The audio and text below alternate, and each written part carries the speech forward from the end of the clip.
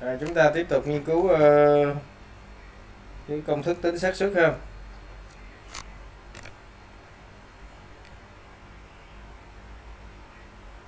Đây cái công thức đầu tiên của mình đó chính là cái công thức cộng xác suất này các em. Công thức cộng xác suất tức là công thức 1.10 đó. Công thức 1.10 ha. Thì uh, cái này mình đọc là đối với hai cái biến cố AB bất kỳ thì xác suất của biến cố A hợp B nó bằng xác suất của biến cố A cộng cho xác suất của biến cố B. Sau đó là trừ cho xác suất của biến cố A giao B. Thì mình biết là xác suất của biến cố A à, A hợp B A hợp B biến cố này nó chính là cái biến cố là có ít nhất ờ, một trong hai. Cái này gọi là có ít nhất một trong hai biến cố A hoặc B xảy ra tức là có từ một biến cố trở lên uh, uh, xảy ra không À, có từ một biến cố trở lên xảy ra Đấy. còn uh, còn A do B ấy, có nghĩa là cả hai biến cố đều cùng xảy ra Đấy. như vậy thì muốn tính xác suất của biến cố uh, có ít nhất một trong hai biến cố xảy ra thì mình sẽ lấy xác suất của từng biến cố và trừ đi cho xác suất của biến cố A giao B. Đấy, thì đây là cái công thức gọi là công thức cộng xác suất. Mà cái phần uh, uh, cái cái phần uh, đặc biệt cái đặc biệt của cái công thức này nó chính là là ở ở trên đây em. Cái hai biến cố xung khắc á trường hợp đặc biệt á, thì xác suất của biến cố của tổng tức là a hợp b á, bằng xác suất của a cộng xác suất của biến cố b tức là nó rơi vào cái tính chất uh, số 2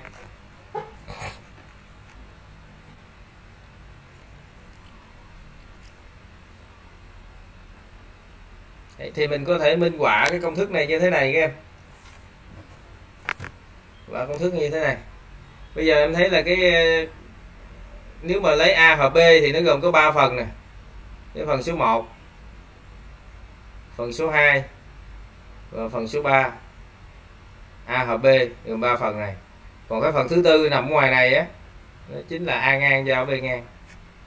Đấy, như vậy thì xác suất của biến cố A hợp B đó chính là xác suất của cái phần số 1 cộng xác suất của phần số 2 cộng xác suất của phần số 3 gì? Ai ai ai làm gì? Đang nghe tiếng kêu rồi bạn nào mới vô hả?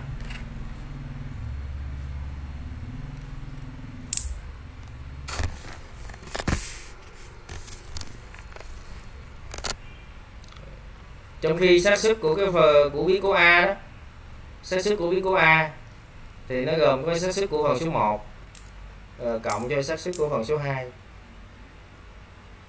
còn cái xác suất của biến cố B đó, thì nó bằng xác suất của phần số số số hai à, cộng xác suất của phần số 3 không?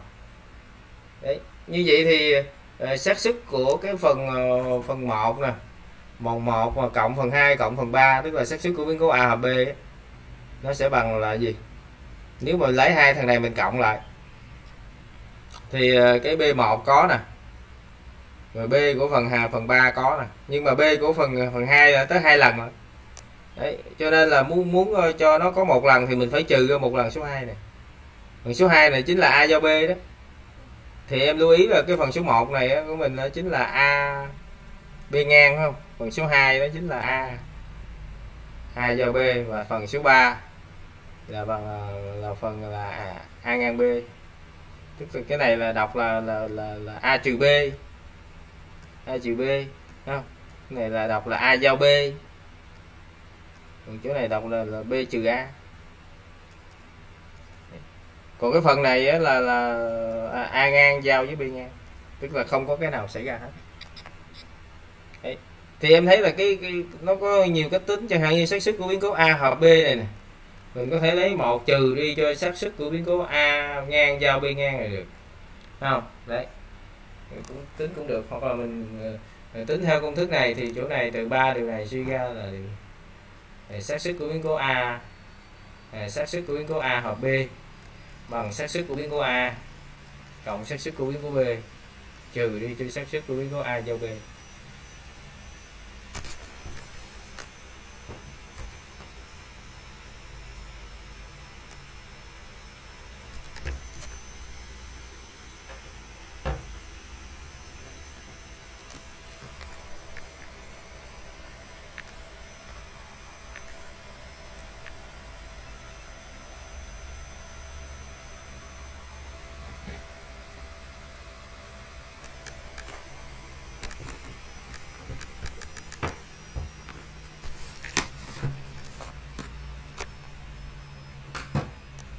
đây là công thức cộng xác suất ha. Ờ, cái ví dụ như thế này, một bạn đọc cho thầy ví dụ này kìa. Ví dụ 1.20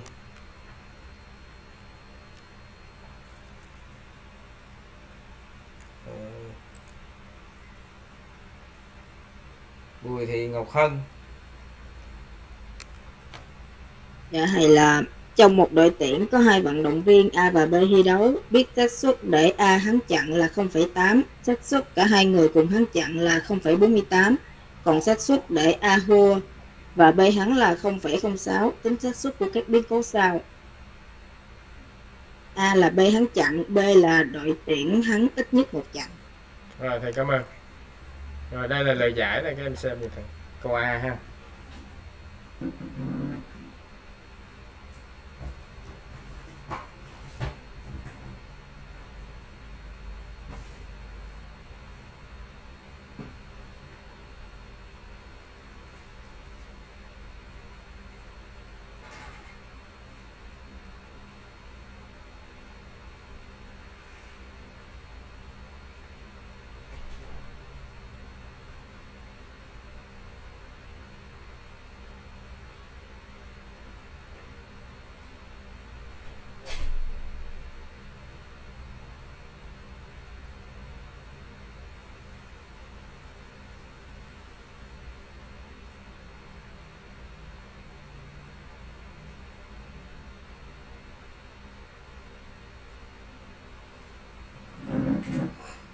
Thì à, ở lời giải này đó thì mình gọi A là biến cố vận động viên A thắng chặn ha B là biến cố vận động viên B thắng chặn. Thì theo đề bài á thì à, chúng ta có cái à, xác suất của biến cố.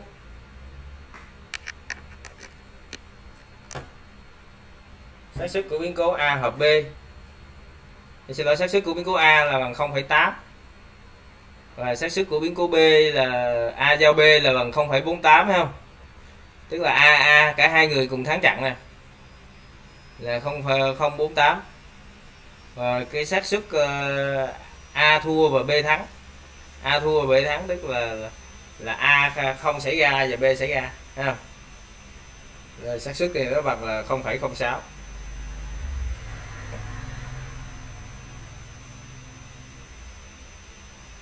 Vậy thì xác suất để B thắng chặn là bằng ờ, xác suất của biến cố B đó đó chính là xác suất của biến cố uh, A giao B cộng cho xác suất của biến cố A ngang giao B. Thế vô thì nó không phải 54 đúng không? Như vậy thì xác suất đội tuyển thắng ít nhất một trận tức là xác suất của biến cố A hợp B này. mình áp dụng công thức cộng xác suất vô thì nó ra là 0,86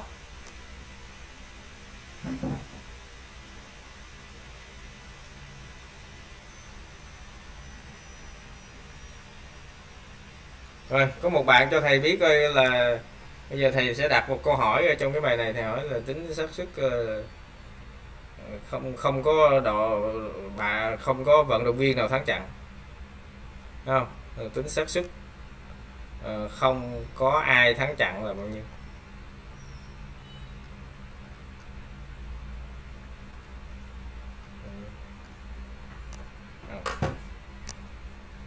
Các em xem cái lời giải rồi trả lời câu hỏi cho thầy coi. Người bạn uh, Bùi Tùng Kiên. Bùi Tùng Kiên có mặt không? Có thầy ơi. Rồi, có câu hỏi của thầy em rõ không ạ?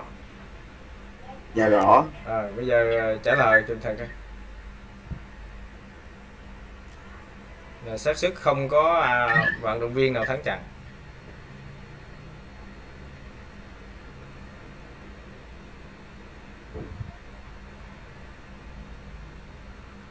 B của ờ, A gạch B gạch ờ đúng rồi. Là b của a gạch b gạch không em? Là bao nhiêu?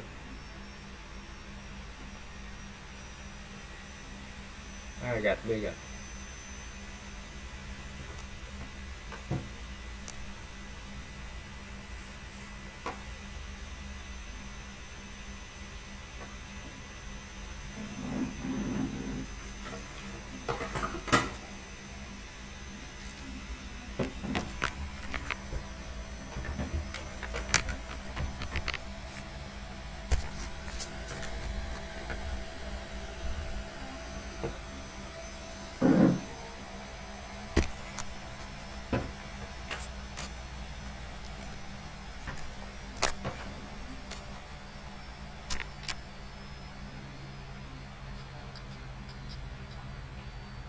Được không em? A gạch, b gạch xác suất là nhiêu?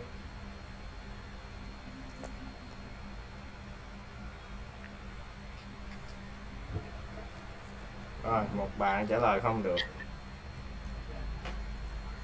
Cao sĩ liêm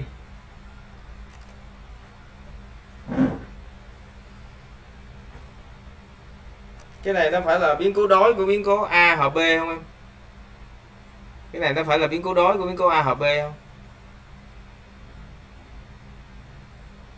Tức là nó sẽ bằng một trừ đi cho xác suất của biến cố a hợp b, đúng không?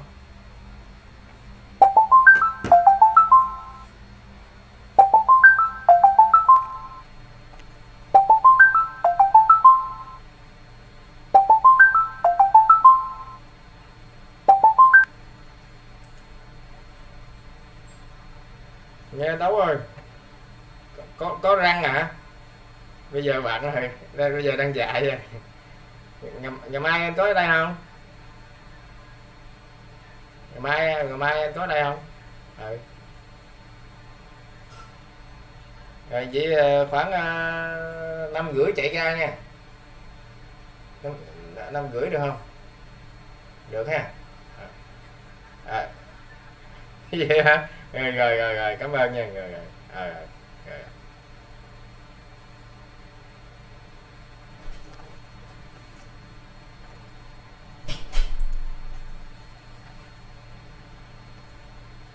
rồi tự nhiên nó có điện thoại kìa bây giờ bạn đâu rồi bạn nãy tôi, tôi gọi tên nó, nó nói đi ra à, ngoài hay gì đó. Rồi, tên tên, Liêm à. Rồi bạn khác đi. Cao cao văn hoa hay cao văn hòa em. Dạ em thầy cao văn hóa. Cao văn hóa ờ thầy, thầy, thầy xin lỗi. Thầy cao văn hóa. Em em em có ờ, trả lời được câu hỏi này không dạ thầy là bằng ờ, một, một trừ cho a hợp b là 0,86 một trừ 0,86 là nhiêu? Vậy là 0,14 rồi thầy cảm ơn. Đáp án là không phải 14 tức là là xác suất là không có không đội tuyển không có trận thắng là bằng 0,14 ha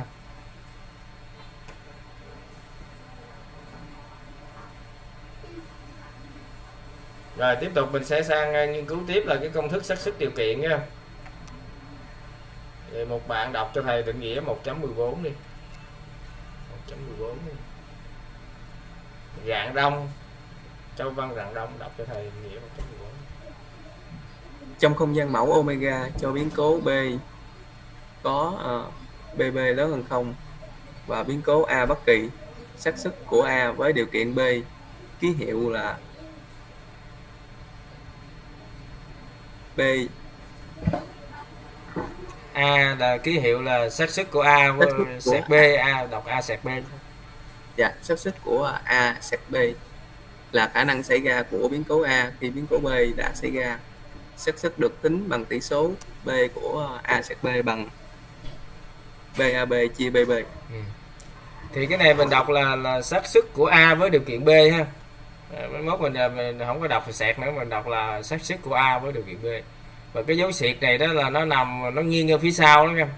Nghiêng phía sau hoặc là đứng luôn có tài liệu thì thấy nó viết đứng luôn. Tức là nó viết như thế này. Ờ, nó viết là xác suất nè. A đứng luôn với điều kiện B thôi. Không? Ờ, không không có tài liệu nào mà nó viết là a trên b như thế này luôn ha. À, không có cái như thế này dưới cái dấu đứng hoặc cái nghiêng hay sao?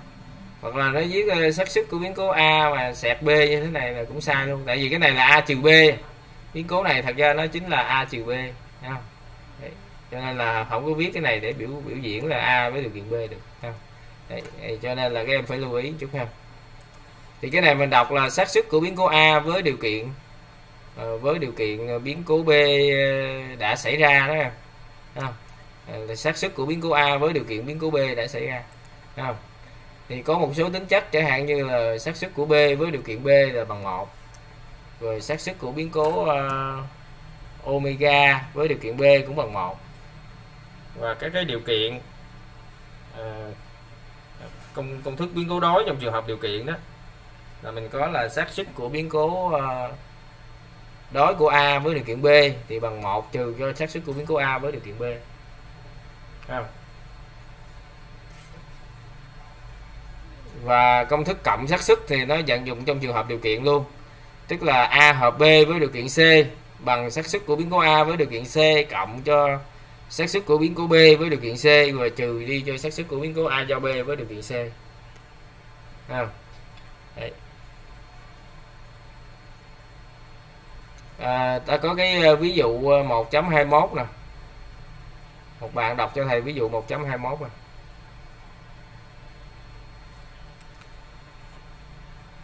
Ờ, Đặng Phước Lộc. Dạ hay là ví dụ 1.21 gieo hai con xúc sắc cân đối đồng chất giống nhau tính xác suất để tổng số chấm thu được bằng 6 biết rằng tổng số đó là số chẵn.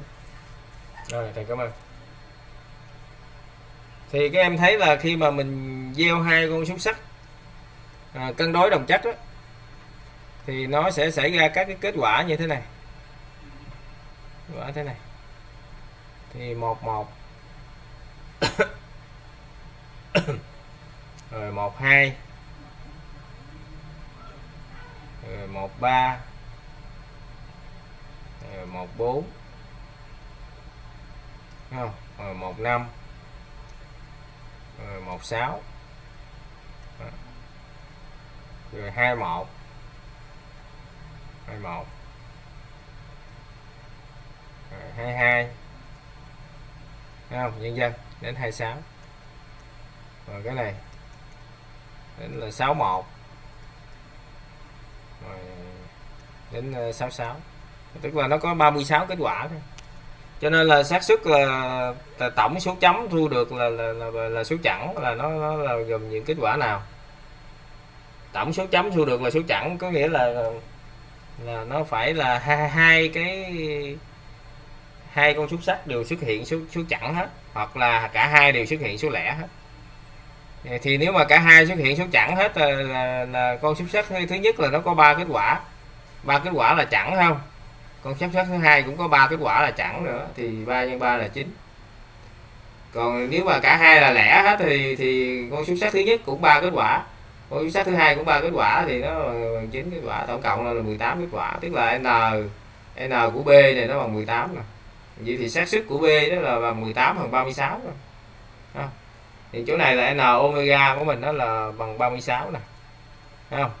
Vậy thì xác suất của biến cố uh, biến biến cố b là bằng 18 phần 36 trong khi xác suất của biến cố a là bằng 5 5 ờ, phần 36 đúng không? Đó. na ờ, bằng bằng bằng 5 Đây, tổng tổng hai lần gieo là bằng 6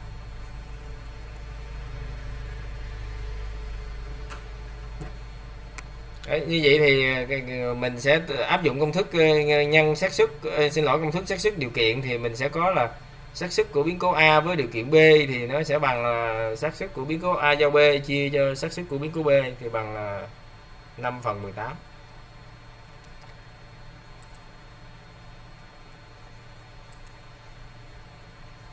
thì tương tự như vậy thì mình có cái ví dụ số 2 ở trong phần này, đó chính là ví dụ 1.22 một bạn đọc cho thầy ví dụ 1.22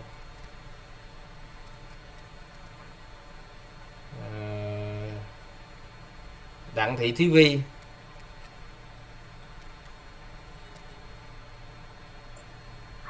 một, một lớp chia ba nhóm học tập Ờ, một nhóm có 7 nam và 5 nữ. Nhóm 2 ờ, có 6, nữ, 6 nam và 6 nữ. Nhóm 3 có 5 nam và 6 nữ. Chọn ngẫu nhiên một sinh viên trong lớp. Tính xác suất sinh viên được chọn là nữ và thuộc nhóm 3. rồi bây giờ em coi cái lời giải rồi lát là thầy hỏi em ờ, các em ờ, Ờ, một cái, một số câu liên quan ha. Ở đây thì mình mình sẽ gọi A là biến cố sinh viên được chọn là nữ nè. Thấy không? Thì xác suất của biến cố A là gì? Ờ. Và B là biến cố sinh viên được chọn là thuộc nhóm 3 Thấy không? Thì em ờ, thử tính cho thầy coi là xác suất của biến cố. Ở đây là nó có là xác suất của biến cố B tức là thuộc nhóm 3 đó là bằng 11 phần 35 tại vì ở đây là, là cái lớp mình chia làm ba nhóm không? À, nhóm 1 là 6 nhóm 1 là 12 chứ. 12 nè nhóm 2 là 12 luôn nè nhóm 3 là là 11 thì tổng cộng là, là 35 người. 35 người mà mình chọn một người ra đó thì mình sẽ có 35 cách đúng không? Nhưng mà bây giờ chọn một người mà bắt buộc cái người đó thuộc cái nhóm nhóm 3 tức là xác suất của biến cố B này các em xác suất của biến cố B này. Đó, là bằng 11 phần 35 rồi. Còn xác suất của A với điều kiện B, thì trong cái A với điều kiện B, tức là thuộc nhóm 3 đó, điều kiện B là điều kiện thuộc nhóm 3 thì này nó có 6 nữ và 5 nam. Đúng không?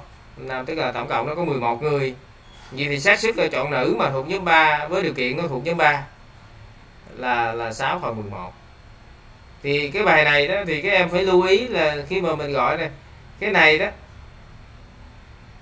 6 phần 11 này là là xác suất rồi chọn được nữ Ờ, được nữ ờ, với điều kiện thuộc nhóm 3 với điều kiện thuộc nhóm 3 còn ờ, còn còn thường đó là mình sẽ hay hay nhầm lẫn cái này dưới này là xác suất chọn được nữ ở nhóm 3 chọn được nữ ở nhóm 3 ở nhóm 3 à. đó thì em phân biệt ở chỗ này nó chính là xác suất ờ, chọn được nữ và với điều kiện ở nhóm 3 đó chính là thằng này còn này là chọn ơi. được nữ. bên em có thấy thầy ơi hả? Bên em có thấy thầy chia sẻ thầy ơi Ủa gì kỳ vậy? Có bạn nào ờ, thấy không? Hả? Thấy bình Dạ, thường thấy bình thường có thể là có bạn không thấy thì có thể là cái mạng bên bạn bị nó bị yếu thấy không?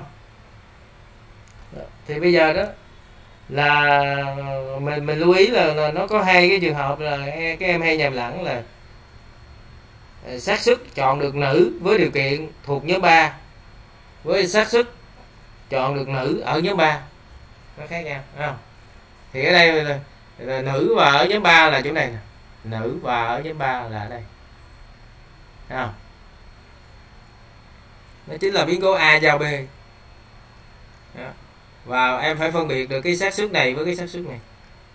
A sẹt B. Thấy không? A sẹt B và phải hai cái này nó phải khác nhau.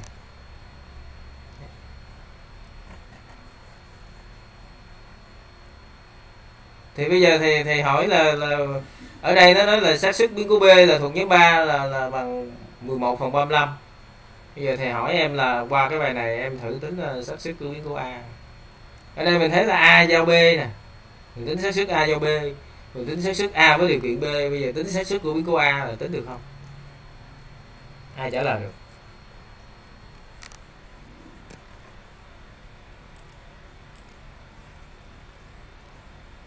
Đỗ Thiên Mã. Có.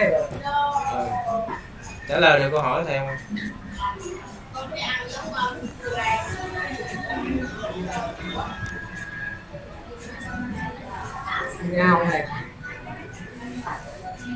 bây giờ em không trả lời được vậy thì, thì hỏi em ờ, biến cố A là gì? Là sinh viên được chọn là nữ. À, sinh viên được chọn là nữ. Bây giờ em chọn ngẫu nhiên một sinh viên của lớp tính xác suất sinh viên được chọn là nữ. Bây giờ cái lớp này có bao nhiêu bạn? 35 35 bây giờ em chọn một người có mấy cách chọn? Là một cách chọn. 35 cách chọn. Ờ 35 cách chọn. Bây giờ trong 35 người này có bao nhiêu người là nữ này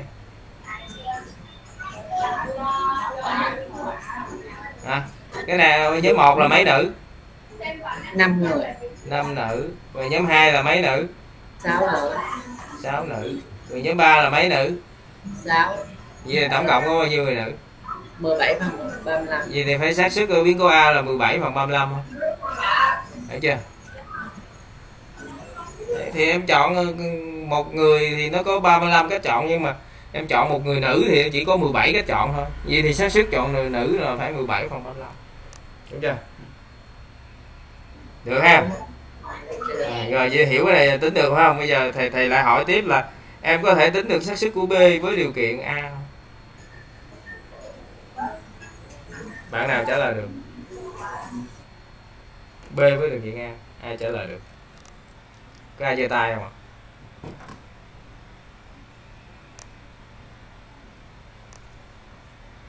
Bạn ờ, để chữ Dương Hoàng Nang này là phải Hoàng Nang hay không hả? Dương Hoàng Nang. Bây giờ tôi chiếu bạn lên màn hình luôn. Ghim lên màn hình luôn rồi. Tên gì? Bạn này tên gì? Nán thầy ơi. Dương Hoàng Nán hả? Đúng không? Rồi bạn Nán trả lời câu hỏi cho thầy coi em tính được cái này xác suất của, của, của B với điều kiện A. Nán đâu ạ. Không có mặt phải không? Nán không có mặt nè. Hồng Hải. Dương Hứa Hồng Hải. Của em thì ơi. Em là ai? Hải hả? Dạ hải. Ờ bây giờ em tính được cái này không em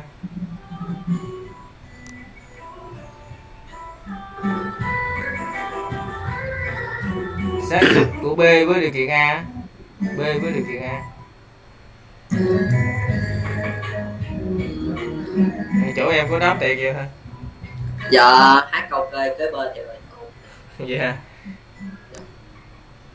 rồi em trả lời được câu hỏi này không ạ? Dạ không thì ơi thế bây giờ với điều kiện A có nghĩa là sao? Với điều kiện A có nghĩa là mình ờ, dạ hay là lấy cái này chia cho a. À, cái này không phải. Em áp dụng công thức ờ, xác suất ờ, điều kiện được phải không? Tức là cái này là BAB nè. Chia cho cái gì? Dạ chia cho a. BA chia cho BA BA là bằng 17 phần 35 phải không? Dạ dạ đúng Rồi cái này là 6 phần ờ, 35 phải không A giao B là 6 phần 35 63 phần 35 chia 17 phần 35 ra nhiêu?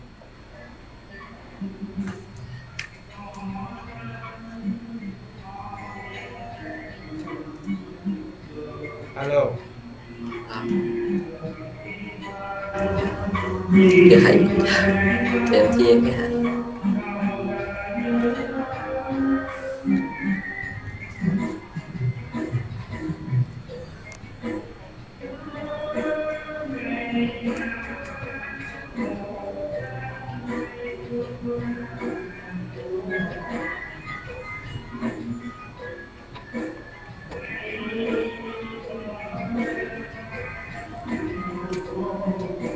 giờ thầy ra là 6 phần 17 rồi thầy cảm ơn. Đấy. Thì bây giờ bỏ hết tất cả ờ, cái công thức này. Cái này ra 6 phần 17 đúng không? Mình tính ra 6 phần 17 bây giờ mình không làm theo công thức mà mình làm thế này. Bây giờ mình, mình nếu mà mình chọn nữ không đó trong lớp này nếu mà mình chọn nữ không đó, thì mình có 17 cách chọn đúng không? 17 cách chọn. Mà trong số 17 cách chọn này có bao nhiêu cách chọn là nữ mà thuộc cái nhóm 3 là có 6 người đúng không? Đúng không? Có 6 người nữ, mà ở nhóm 3 Đấy. Vậy thì xác suất của bạn được chọn là thuộc nhóm 3 với điều kiện bạn là nữ, là nó 6 phần 17 Đấy. thì qua cái ờ, xác suất điều kiện này đó thì em thấy được là cái xác suất điều kiện đó là mình có thể suy ra từ, trực tiếp từ trong cái đề của bài toán mà mình không cần dùng công thức, Thấy không Đấy. thì cái ví dụ tiếp theo là 1.23 1.23 Dương Thị Kim Hồng là đọc cái này ví dụ này Dạ. Một hộp có 3 quả cầu trắng và 4 quả cầu đỏ lấy ngẫu nhiên liên tiếp không hoàn lại hai quả cầu. Tính xác suất quả cầu lấy ra lần thứ hai màu trắng, biết quả cầu lấy ra lần thứ lần đầu màu đỏ. rồi thầy cảm ơn Đấy. thì ở đây là mình sẽ đặt A là biến cố quả cầu lấy ra lần đầu màu đỏ và B là biến cố quả cầu lấy ra lần thứ hai màu trắng Thấy không bây giờ mình cần tính xác suất là B với điều kiện A đúng chưa B với điều kiện A mình thấy là cái biến cố B với điều kiện A có nghĩa là lần thứ hai lấy được quả cầu màu trắng. Lần thứ hai với quả cầu màu trắng. Với điều kiện là lần đầu mình đã lấy ra quả màu đỏ rồi. Thấy không? Và lưu ý cái lấy ra này là lấy ra không còn lại nha các em. Lấy ra không còn lại. Đấy.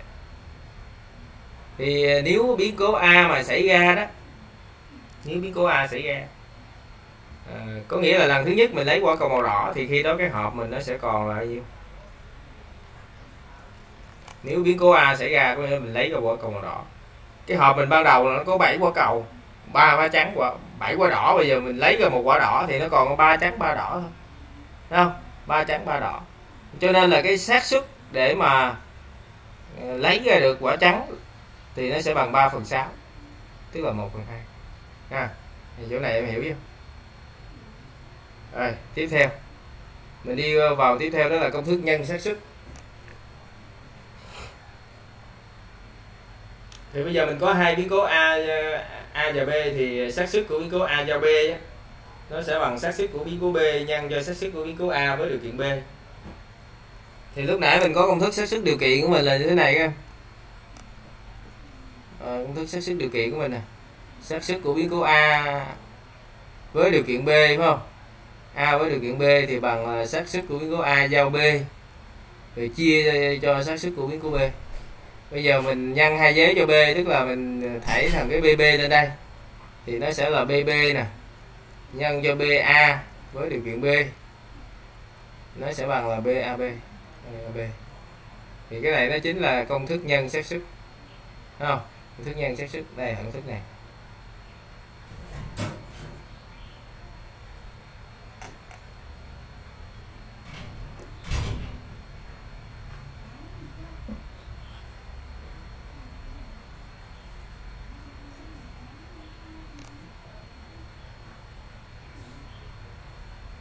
Đây là công thức nhân xác suất bây giờ nếu mà mình đổi vai trò của AB cho nhau đó mình đổi A vai trò của AB cho nhau thì mình được công thức thứ hai. Về trong thực tế đó, khi mà mình tính xác suất của biến cố A giao B thông qua công thức nhân xác suất này đó thì mình có thể sử, sử, dụng công thức ở phía dưới hoặc là sử dụng công thức phía trên này. À, nếu mà sử dụng công thức phía trên này nếu mà biến cố B mình xảy ra trước đó hay là mình biết biến cố B nó xảy ra rồi đó thì mình mình làm theo công thức phía trên còn nếu như mà mình ờ, mình biết là biến cố A nó xảy ra trước, hoặc là mình biết được cái cái cái biến cố B nó, biến cố A nó xảy ra rồi, đó mình áp dụng công thức dưới ha. Đấy. Thì ở đây mình đảo là cái ví dụ ờ, cái cái cái hộp mà có ờ, 10 có 7 quả cầu như thế này các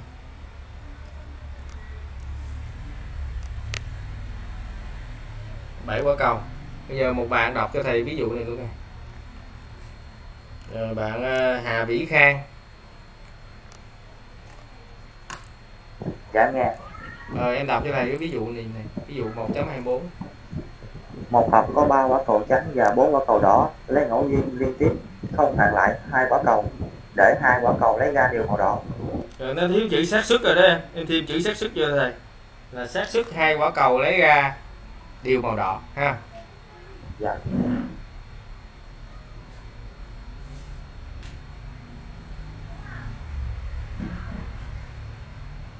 Thì bây giờ mình à, tính xác suất hai quả cầu lấy ra cùng màu đỏ ha. Tức là mình gọi A là biến cố quả cầu lấy ra lần đầu màu đỏ nè. A là lần đầu màu đỏ ha. B là lần thứ hai màu đỏ. Vậy thì cả hai cùng màu đỏ tức là B A giao B. A giao B. Như vậy thì ở đây là, là biến cố A nó xảy ra trước cho nên mình sẽ tính theo công thức là gì? BA rồi nhân cho BB với điều kiện A. Không? như vậy thì ở đây là BA mình phải tính cái BA này nè. Mình tính cái BA này rồi sau đó mình tính BB với điều kiện A đúng không? Đấy.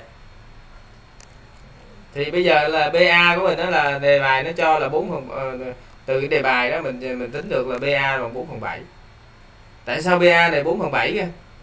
Ờ, trong cái hộp này nó có 7 quả cầu mà. mỗi giờ mình lấy ra ngẫu nhiên một quả cầu thì mình có 7 cách lấy đúng không? Và trong 7 cách lấy này á, thì nó có 4 cách lấy là quả cầu màu đỏ. Vậy thì xác suất để lấy quả cầu màu đỏ là 4 phần 7 đúng không? Nhưng mà nếu mà A này là, là, là đã xảy ra rồi có nghĩa là trong cái hộp này nó còn 6 quả cầu mà trong đó có ba ba đỏ. À, xin lỗi ừ, ba đỏ ba trắng. Vậy thì xác suất để lần thứ hai lấy được quả cầu màu đỏ nữa là ba ba phần sáu. Không? Đấy. và mình áp dụng công thức mình thế số vô mình nhân vô thì ra 2 phần 7 Đấy. thế thì, qua đây thì thầy thầy lại hỏi cái, cái em một, một câu hỏi là à, cái em thử tính cái xác suất để là là hai quả cầu lấy ra có màu trắng có màu trắng hết. À, đó chính là xác suất của biến cố nào. Rồi bạn nào trả lời cho thầy câu hỏi này coi. À, hồ phú nghĩa. Hồ phú nghĩa có mặt không? Dạ có thầy ơi. Rồi trả lời câu hỏi cái này đầu tiên là em ghi tên biến cố là hai quả cầu lấy ra màu trắng biểu diễn sao?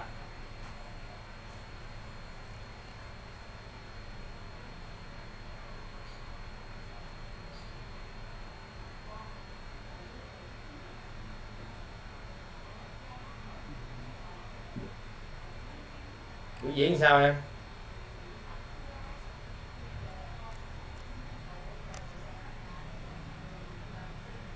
Kỳ vậy nhỉ? Không trả lời thầy nghĩa B của B của à, quả cầu lấy ra lần đầu là màu đỏ là mình ký hiệu là A rồi. Như vậy thì không phải màu đỏ nó là màu gì? Không phải màu đỏ là màu trắng đúng không? Như vậy thì cả hai quả lấy ra màu trắng là nó là cái này nè. Đấy. thì thôi bạn khác trả lời cho thầy đi Khác trả lời cho thầy đi. Khu Hoàng Giang dạ thầy là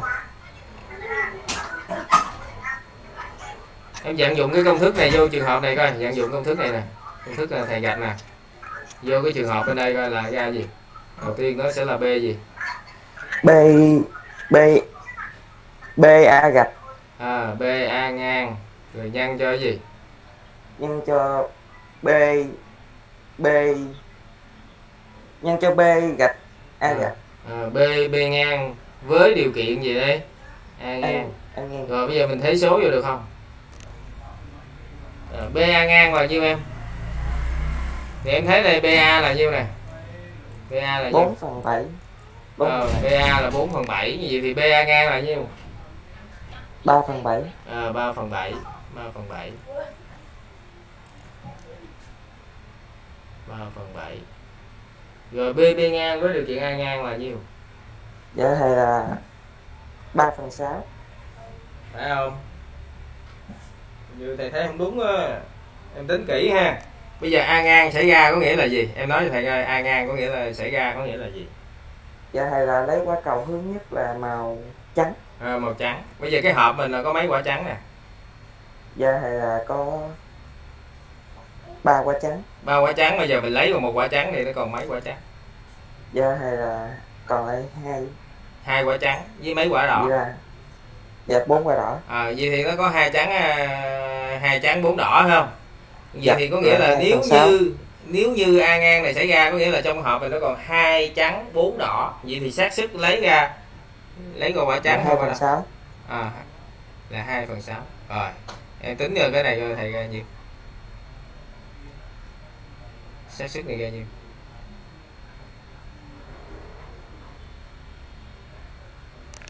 tính nhẩm đi. 2 nhân 3 là nhiêu? 2 nhân 3 Dạ, là là 6 sáu. ờ, 6 chia 6 là bằng 1 1 chia 7 là 1 phần 7 đúng chưa? Đấy, Dạ. đơn giản thế thôi. Vậy thì xác suất để hai quả lấy ra cùng màu trắng là 1 phần 7 phải không? Em tính kỹ là gì thầy ha. Rồi xác suất ờ, lấy ra hai quả cùng màu cùng màu trắng là 1 phần 7 cùng màu đỏ là 2 phần 7 như vậy thì cùng màu có nghĩa là nó là 3 phần 7 ờ, vậy thì khác màu nó phải là 4 4 phần 7 ha. Rồi. Thì một cái ví dụ tương tự như vậy thì cái ví dụ là bắt gà. Đi bắt gà. Gà trống gà mái nè trong cái chuồng nè thấy không? Rồi, một bạn đọc cho thầy ví dụ này đi À, Lê Quỳnh Nhật Minh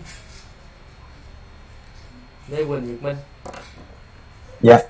đọc cho thầy ví dụ Một chuồng gà có 5 con gà trống và 7 con gà mái, người ta bắt ngẫu nhiên lần lượt hai lần, mỗi lần một con để bán tính xác suất. A. Cả hai con đều là gà mái. B. Con bắt lần thứ hai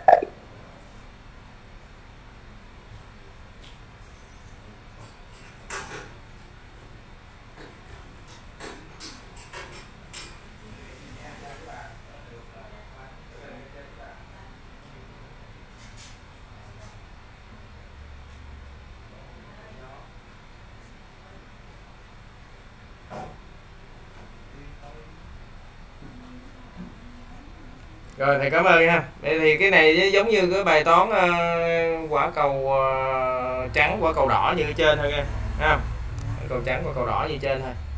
Thì bây giờ đó là mình đặt A là biến cố con gà bắt ra lần đầu gà mái ha và B là biến cố con gà bắt ra lần hai là gà mái. Vậy thì A giao B có nghĩa là cả hai con bắt ra đều là gà mái. Là là 7 phần 22 rồi cái câu B là xác suất con gà bắt ra lần thứ hai là gà mái là cái này. Thấy không? Là 7 phần 12 Đấy. thì bây giờ đó là cái lời giải của bài toán là như thế này. Đấy. thì ở đây em thấy là con gà bắt ra lần đầu là gà mái là 7 phần 12 con gà bắt ra lần thứ hai gà mái với điều kiện con gà bắt ra lần đầu gà mái. Thấy không? Là 6 phần 11 thì uh, câu A của mình là đáp án 7 phần 12 hỏi thêm là uh, xác suất uh, cả hai hai con đều là gà trống. Là bao nhiêu? Thấy không? Thì các em xem cái ví dụ này kỹ cho thầy và tính xác suất cả hai con đều gà trống như thầy ha. Rồi tính như thế nào? Và và tính thêm cho thầy là xác suất là để được một con trống một con mái. Xác suất được một trống một mái.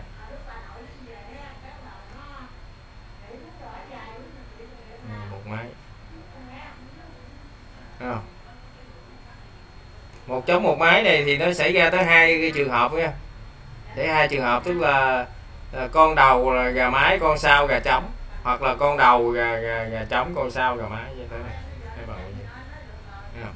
Đấy thì qua cái bài này thì em phải làm thêm như thế thì em mới, mới nắm được cái bài ha? Đấy. thì lưu ý ha Rồi. còn lại là cái ờ, cái câu B đó thì em thấy là xác suất để con gà là bắt ra lần thứ hai gà mái nó cũng bằng 7 phần 12 điều đó có nghĩa là con gà bắt ra lần đầu hay lần hai gì đó thì xác suất gà mái nó đều bằng nhau hết à, do nó trở về cái bài toán giống bài toán bắt hâm vậy đó ví dụ như trong cái thùng ờ, thăm của em nó có 10 lá thăm. Mà trong đó có ba lá thăm được đánh dấu không? Ba lá thăm đánh dấu. Đấy, thì bây giờ đó là câu vấn đề đặt ra là có ba người. Lần lượt ờ, mỗi người bắt một ờ, lá thăm.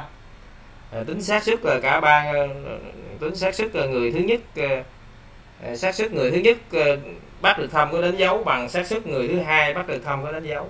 Và bằng xác suất người thứ ba bắt được thăm có đánh dấu thì cái bài này nó ở phía sau nó có cái ví dụ đó nữa mình xem.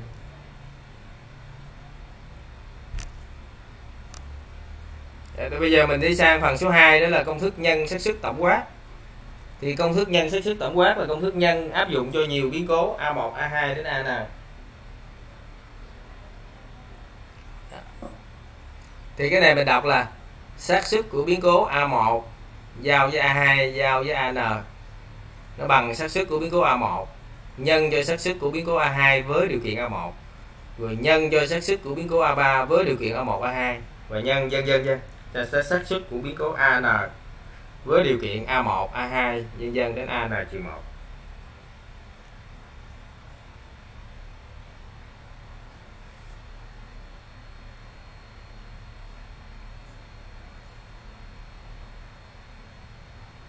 thì à, một cái ví dụ ờ, cho cái phần này đó chính là cái ví dụ 1.26 tức là sơ đồ hợp uh, Bolia đó thì cái này các em tham khảo thêm như này ha. Tham khảo thêm. Đây. và các em nghiên cứu ở đây là ví dụ 1.27 như này.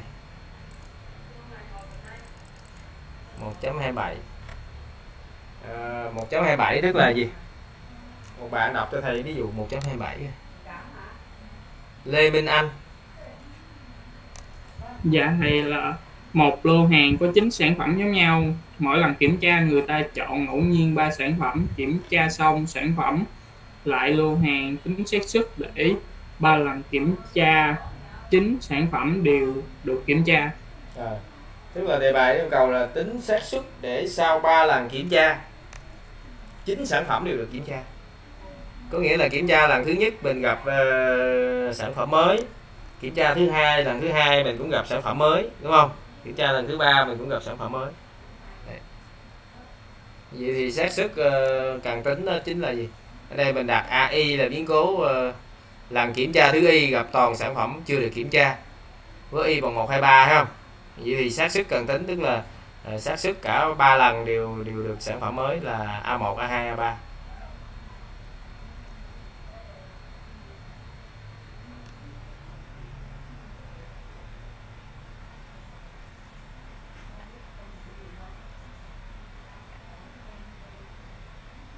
thì xác suất của biến cố A1 là bằng một, phải không? Bởi vì là ngay từ lần đầu em lấy ra ba sản phẩm thì ba sản phẩm này chắc chắn đều là chắc chắn, đều là sản phẩm chưa được kiểm tra, cho nên xác suất biến cố A1 là một. Nhưng mà khi A1 xảy ra có nghĩa là em đã kiểm tra ba sản phẩm rồi em thấy ba sản phẩm là vừa vào lô hàng. Như vậy thì trong lô hàng lúc này nó sẽ có ba sản phẩm đã được kiểm tra và 6 sản phẩm chưa được kiểm tra. Lần thứ hai này em lại lấy ra ba sản phẩm mà sao cho sáu ờ, lấy ra ba sản phẩm mà sao cho ba sản phẩm này nó rơi vào 6 sản phẩm chưa được kiểm tra. Tức là số tổ hợp chập 3 của 6 đúng không? Và chia cho số tổ hợp chập 3 của 9 thì được là xác suất của biến cố A2 với điều kiện A2 với điều kiện A1 còn nếu như A1 A2 xảy ra rồi đó, tức là mình kiểm tra đã 6 sản phẩm rồi đó đúng 6 sản phẩm rồi đúng không? Và mình để 6 sản phẩm này vô lô hàng thì có nghĩa là lúc này á, lô hàng của mình á là nó có 6 sản phẩm đã được kiểm tra còn 3 sản phẩm là ừ, chưa được kiểm tra đúng không vậy thì lần thứ ba ờ, mình để để lần thứ ba mà mà bắt ra đúng ba sản phẩm chưa được kiểm tra này thì nó chỉ có một cách bắt tức là C33 Đó. rồi chia cho số tổ hợp chập ba của của chính tức là số cách uh, lấy ba phần tử trong trong chín phần tử đúng không Đấy thì ở đây mình sẽ được cái công thức là gì? À, ờ, C33 chia C39 bằng 1 phần 84 và lúc này mình áp dụng cái công thức ờ, nhân xác suất trong trường hợp ờ, ba biến cố. À, nhân xác suất trong trường hợp ba biến cố giống như công thức trên đây. Nhưng mà mình áp dụng tới nào bằng 3 thôi em. À, thì mình sẽ được là cái gì? À, 1 phần à, 84 em xin lỗi 1 5 à, phần à, 5 phần 1764 Đấy. thì cái bài tập mình nó có một cái bài giống như thế này. Tức là cái bài chia với số trúng thưởng đó. Chia với số trúng thưởng. Tức là ví dụ như trong cái hộp của mình á ờ, nó có 9 tấm vé số mà trong đó có 3 vé trúng thưởng. Bây giờ mình sẽ chia đều ngẫu nhiên 3 tấm à, 9 tấm vé số này cho ba người. Chia đều có nghĩa là mỗi người 3 tấm Đúng không? Bây giờ tính xác suất là là là trong ba người đó thì ba người đều đều có vé trúng thưởng hết. Thì, thì đó là một cái bài tập ở cuối chương này. Để em xem. Dừng lại. rồi bây giờ chúng ta nghiên cứu tiếp. Ví dụ 1.28 1.28 để coi. Lê Minh Anh rồi phải không? Lê Quang Long. Thầy có à, đọc cho thầy ví dụ 1.28 để chọn ứng cử viên cho chức tổng thống đốc điều hành công ty tuyển chọn thí sinh qua ba vòng. Vòng thứ nhất lấy 70% thí sinh vòng thứ hai lấy 50% thí sinh đã qua vòng thứ nhất và vòng thứ ba lấy 20% thí sinh đã qua vòng thứ hai. Để trở thành ứng cử viên thí sinh phải vượt qua được cả ba vòng thi. Tính xác suất để một thí sinh bất kỳ a. Mình không đọc nữa A. Được trở thành ứng cử viên chức tổng giám đốc B. Bị loại ở vòng thứ hai. Biết rằng thí sinh này bị loại. Rồi. Rồi cảm ơn. Từ bạn đang đọc mà thì nghe con gà trống con gáy nó tranh với bạn luôn à, thì bây giờ ở đây để giải bài này đó thì ờ, em sẽ gọi tên biến cố như thế này các em em gọi A1 là biến cố thí sinh qua dòng thứ nhất không? A2 là biến cố thí sinh qua dòng thứ hai và A3 là biến cố thí sinh qua dòng thứ ba không? Thì theo đề bài đó thì xác suất thí sinh qua dòng thứ thứ nhất là bằng 0,7 và nếu như thí sinh đã qua dòng thứ nhất em thấy cái cột này nè. Ờ, à, dòng thứ hai là lấy ờ, 50 phần trăm thí sinh đã qua dòng thứ nhất. Ờ. à. Dòng thứ hai là vậy thì có nghĩa là nó đã qua dòng thứ nhất rồi thì xác suất nó qua dòng thứ hai là 50 phần trăm tức là 0,5 và ờ, tương tự như vậy thì dòng thứ ba thì lấy thí sinh đã qua dòng thứ hai mà đã qua dòng thứ hai có nghĩa là nó nó đã qua dòng thứ nhất rồi có nghĩa là biến cố A1 nó cũng xảy ra rồi Thấy không? như vậy thì cái này nó chính là cái xác suất của biến cố A3 với điều kiện A1 A2 là bằng 0,2 đó, và mình áp dụng công thức nhân xác suất cho trường hợp ba biến cố. Ở đây thì mình sẽ được là xác suất của biến cố A1 A2 A3 Thấy không? Nó sẽ bằng là 0,07 có nghĩa là xác suất một thí sinh bất kỳ được uh, trở thành ứng cử viên chức tổng giám đốc là bằng 0,07 tức là 7 phần trăm.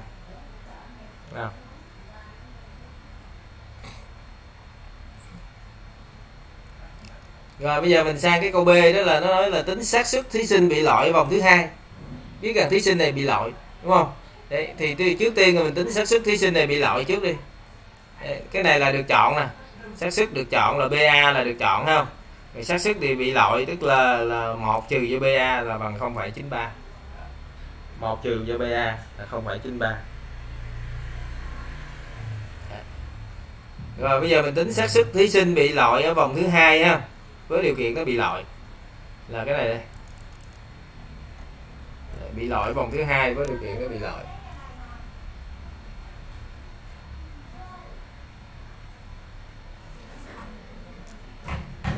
thì ở đây mình sẽ tính là xác suất của biến cố A2 ngang với điều kiện A ngang đúng không? Thì áp dụng cái công thức uh, xác suất điều kiện á thì nó sẽ là xác suất của biến cố A2 ngang giao với A A ngang. A2 ngang giao với A ngang à, mà a hai ngang giao với A thì ờ, thì có nghĩa là ờ, cái này nó nghĩa bị lỗi dòng thứ hai có nghĩa là nó cũng qua dòng thứ nhất rồi đúng không? Đấy thì cho nên là ở đây nó sẽ là a hai ngang A a một hay là a một giao với a hai ngang. Thì cái chỗ này nè thì cái a một của mình là là, là 0,7 đúng không? 0,7 còn a hai ngang với điều kiện a một thì nó bằng một trừ cho xác suất của biến cố a hai với điều kiện a một còn cái đề bài nó cho cái thằng này là bằng gì? 0,5 thì cái này nó cũng bằng 0,5 rồi mình thế xuống đây này 0,5 này à. đó. Thì bây giờ đó là, là, là, là mình tính ra thì cái này nó là ra 0,3763 3763 Đấy, thì bây giờ thầy lại hỏi thêm qua cái bài này thầy hỏi thêm một câu mà mình dạy câu về dạy ý nữa là là cái này là, là thí sinh bị loại ở vòng thứ hai biết thí sinh bị loại ha? Bây giờ mình tính là xác suất là thí sinh bị loại vòng thứ nhất biết thí sinh bị loại là cái này là bằng bao nhiêu? Và xác suất thí sinh bị loại ở vòng thứ ba biết rằng thí sinh bị loại là bao nhiêu? Rồi bây giờ. Thầy hỏi các em trả lời ha. Lê Thị Mỹ Hạnh. Dạ có thầy ơi. À, xác suất thí sinh bị loại dòng thứ nhất là bao nhiêu biết rằng thí sinh này bị loại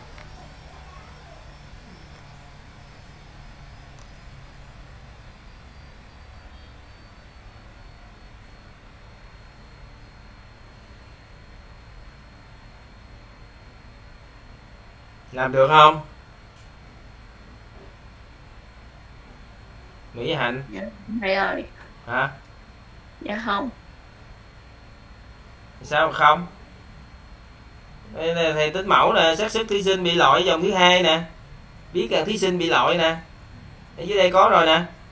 Bây giờ thay số 1 còn số 2 thôi. Mình suy nghĩ mà mình làm chứ cái gì cũng nói không biết hết làm sao mà nữa em thi rồi sao không biết rồi hả? Thi này, vô thi nói tôi không biết làm, tôi gớt rồi sao? Đấy. em phải làm và em phải biết làm mới được. Mặc dù làm sai thì thầy sửa, đúng không? Bây giờ nó không không có hợp tác gì hết rồi chết rồi học gì kỳ rồi, bây giờ mình áp dụng công thức nè. Đầu tiên áp dụng công thức xác suất điều kiện nè. Cái này nó sẽ bằng là xác suất của biến cố gì đây. A1 ngang giao với A. A ngang. A ngang là bị lỗi đúng không? Đấy. rồi chia cho xác suất của biến cố A ngang. Đấy, xác suất A ngang ở đây là 0,93 có rồi nè. Vì mình thế số vô chỗ này 0,93 thôi. Còn chỗ này á, thì chỗ này nó là bị ờ, bị lỗi dòng thứ nhất thấy không? Thì nó cũng nằm trong biến cố bị lỗi thôi cho nên là chỗ này mình ghi là xác suất của biến cố A1 ngang. Rồi tới đây thì hướng dẫn tới đây rồi em nói em không biết tính nữa đi. Trời nữa là, là học trực tiếp trên lớp là là thầy phạt đây thì mỹ hạnh đâu rồi? Tới đây em tính ra được chưa? Em bấm máy tính hay là ừ tốt.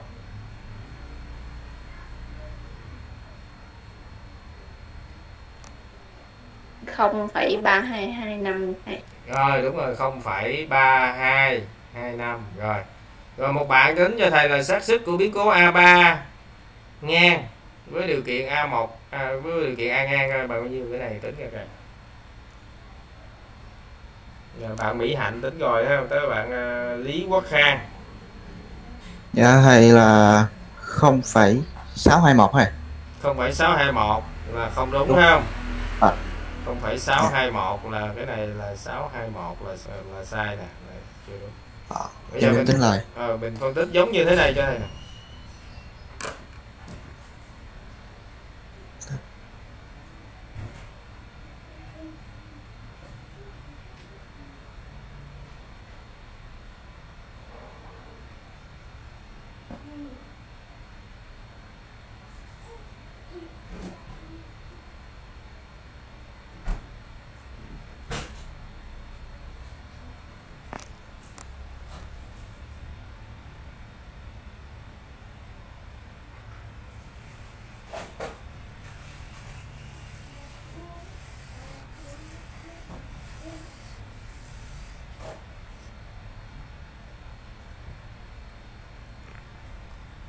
ra chưa?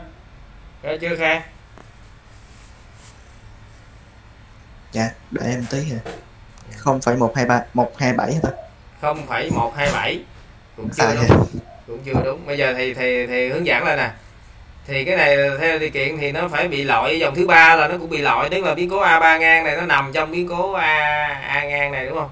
Cho nên ở đây mình sẽ tính bằng xác suất của biến cố là a 3 ngang. Nhưng mà nếu mà nó để bị lỗi dòng thứ ba có nghĩa là hai dòng đầu nó qua, đúng không? A1 A2 như thế này. Và tới tới A3 mới là A3 ngang. Và tất cả chia cho gì? Xác suất của biến cố A ngang ở trên có rồi. Dạ. Rồi thầy gợi ý như thế, tới đó rồi tính lại cho thầy coi ra nhiêu dạ.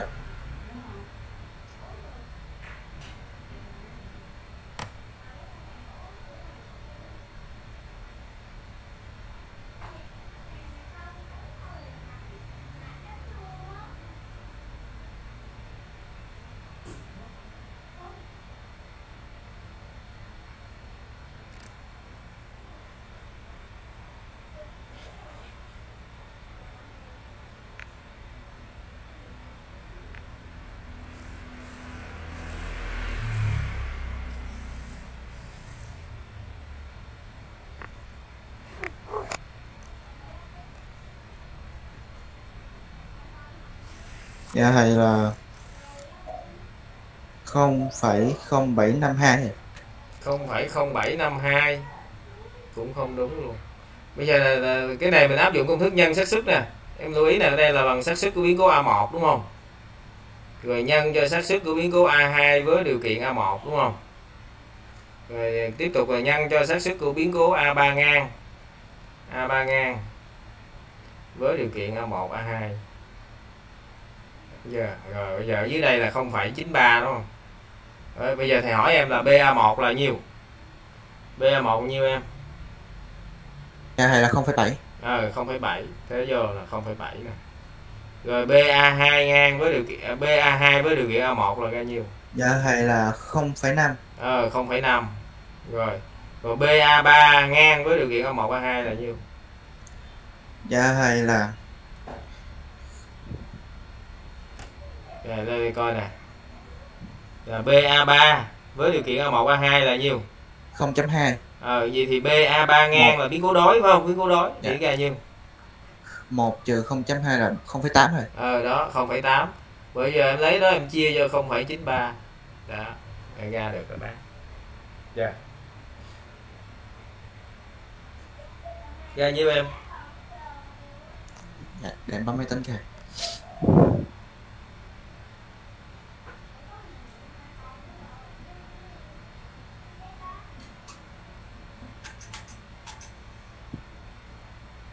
không phẩy ba không một không. 3010 đúng chưa rồi. Đấy. Thì bây giờ ví dụ như mình có một người bạn mà đi vô ứng ờ, làm ờ, ứng tuyển vô chức ờ, ứng cử viên trợ tổng giám đốc này đúng không? Thì bạn về bạn buồn so cái mặt bạn nói là tôi bị lội rồi à.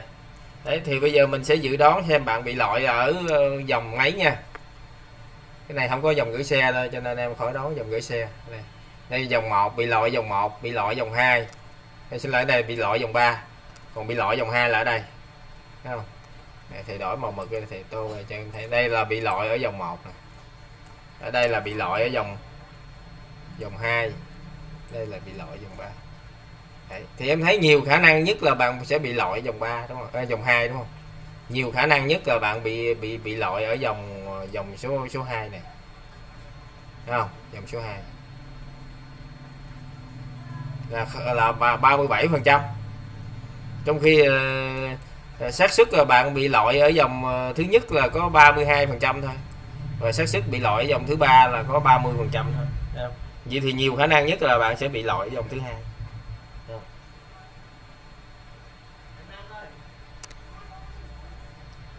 Rồi, các em chờ thầy tí. Gì vậy em?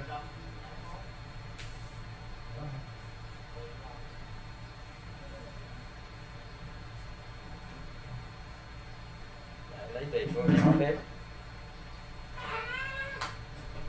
Trả đó, nó hết trả đó nghe chưa? Lấy tiền của không hoài à.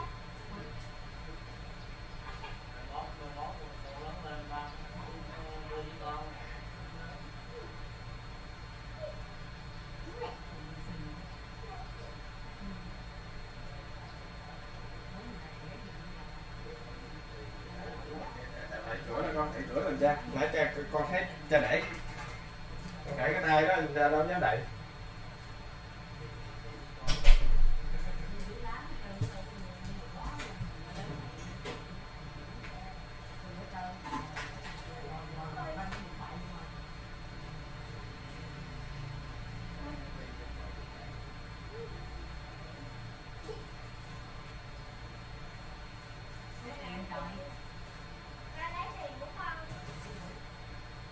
Để mượn không ơi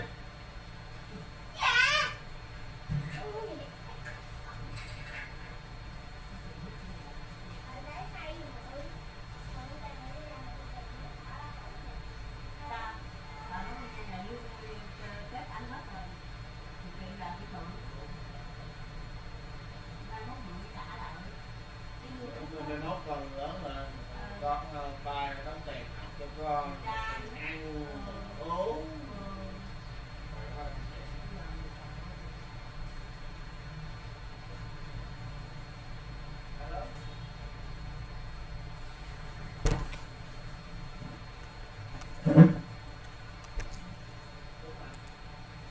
rồi mình uh, tiếp tục nha các em. Tiếp tục uh, đây. Như vậy thì uh, cái uh, ví dụ 1.28 này xong ha. Bây giờ mình mình sang tiếp ví dụ 1.29 một bạn đọc cho thầy ví dụ 1.29 đi. Nguyễn Bình Dương. Dạ. Để dập tắt nạn dịch sâu hại lúa, người ta tiến hành phun thuốc ba lần liên tiếp trong một tuần. xác xác suất sâu bị chết ở lần đầu là 0,5 nếu sâu nếu sâu sống sót thì khả năng chết của sâu ở lần thứ hai là 0,7 còn nếu sâu chưa chưa chết ở lần thứ hai thì sâu sẽ chết lần thứ ba với xác suất là 0,9 tính xác suất sâu chết sau đợt phun thuốc. Rồi thầy cảm ơn. Thì ở đây mình có thể giải bằng hai cách mình có thể giải theo cách thứ nhất tức là ờ, mình tính ờ, xác suất ờ, sâu chết cái biến cố là lập ra biến cố ra sâu chết sau đợt trong đợt phun thuốc. Thì nó có ba đợt hơn đợt 1 đợt 2 đợt 3 đợt 1 đợt 2 đợt 3 à, tức là mình đặt A là biến cố sâu chết trong đợt phun thuốc và AI là biến cố sâu chết ở lần phun thuốc thứ y. Thì rõ ràng là biến cố A của mình nó sẽ là, là, là, là nó nó nó bằng là A1 có nghĩa là chết ở lần thứ nhất nè lần lần phun thuốc thứ nhất. Sâu chết ở lần phun thuốc thứ nhất nè. Không? Cái này ở lần thứ hai. Lần thứ hai thì có nghĩa là nó sống ở lần thứ nhất và nó chết ở lần thứ hai. Không? Còn lần thứ ba là gì? Lần thứ ba có nghĩa là lần đầu nó nó nó, nó, nó sống rồi lần hai nó sống rồi lần thứ ba nó mới chết. Không? Như vậy thì ở đây là ba biến cố này là nó xung khắc. Nó xung khắc không? Ba cái nhóm này nó xung khắc cho nên là xác suất của tổng nó sẽ bằng tổng xác suất. Nhưng mà là từng cái biến cố ở trong đây đó thì mình lại áp dụng công thức nhân xác suất phải không? Nhân xác suất. Đấy, nhân xác suất. Thì ở đây là biến cố A1 ngang A2 ngang giao với A3 thì nó bằng là BA1 ngang nè. Rồi nhân cho BA2 ngang với điều kiện A1 ngang và nhân cho A3 ngang với điều kiện A1 A, A ngang A2 ngang thì đề bài nó nói là sâu chết ở được phun thuốc ờ, lần đầu là 0,5 nè. Có nghĩa là xác suất của biến cố A1 là 0,5 đúng không? Rồi nếu sâu sống ờ, thì khả năng chết của sâu ở lần thứ hai là 0,7 tức là xác suất để ờ, để để sâu chết ở lần phun thuốc thứ hai với điều kiện nó sống ở lần thứ nhất là 0,7 chỗ này là 0,7 nè nghe em, không, nó không phải 0,8 em sửa lần này. Còn nếu sâu chưa chết ở lần thứ hai chưa chết ở lần thứ hai có nghĩa là lần đầu lần hai là nó chưa chết nè. Vậy thì xác suất nó chết ở lần thứ ba là 0,9 là áp dụng công thức là không? Đây là lần đầu là nó nó nó, nó, nó sống ở lần đầu là 0,5 rồi là nó chết ở lần hai là 0,7 rồi chỗ này là gì? Nó sống ở lần đầu là 0,5 rồi nó sống ở lần thứ hai với điều kiện lần đầu nó sống là 01 trừ 0,7 thấy không? Thì mình thấy ở đây là xác suất của biến cố A2 với điều kiện A1 ngang là 0,7 như vậy thì A2 ngang mà với điều kiện A1 ngang A2 ngang với điều kiện A1 ngang thì nó sẽ bằng 1 trừ cho 0,7 tức là 0,3 đúng không? Còn này là A3 xác suất của biến cố A3 với điều kiện A1 ngang A2 A2 ngang là bằng 0,9 đó, mình thế số vô mình cộng thì 0,985 thế bây giờ mình có là cái làm gián tiếp là như thế này. Mình đặt A, A ngang là biến cố đối của biến cố A tức là sâu sống sau đợt phun thuốc. Mà sống sau đợt phun thuốc có nghĩa là nó sống qua ba lần phun thuốc. Lần thứ nhất sống lần thứ hai sống lần thứ ba sống Thấy không? Đây thì bây giờ mình tính xác suất sâu sống trong thời phun thuốc này đó thì nó chính là xác suất của biến cố A1 ngang nhân cho xác suất biến cố A2 ngang với điều kiện A1 ngang và nhân cho xác suất của biến cố A3 ngang với điều kiện A1 ngang A2 ngang thì cái này mình thế số vô thôi. Cái này là 0,5 phải không? Chỗ này là 0,5 nè. Còn chỗ này mình lấy một trừ cho gì? Một trừ cho 0,7 đây một trừ cho 0,7 là nó ra 0,3 nè. 0,3 còn chỗ này mình lấy một trừ cho 0,9 đúng không? A3 của, của với điều kiện A1 A2 A1 ngang A2 ngang này. Đấy, là bằng 0,9 vậy thì A3 ngang mà với điều kiện A1 ngang A2 ngang thì lấy một trừ ra cho cái thằng này là nó ra 0,1 à, rồi mình nhân với nhau thì nó ra 0,015 thì sau khi có cái số này rồi mình sẽ tính là xác suất của biến cố A là bằng 1 trừ xác suất biến cố A A ngang là bằng 0,985 là nó giống cái kết quả ở trên này. Đó là mình làm cách nào được.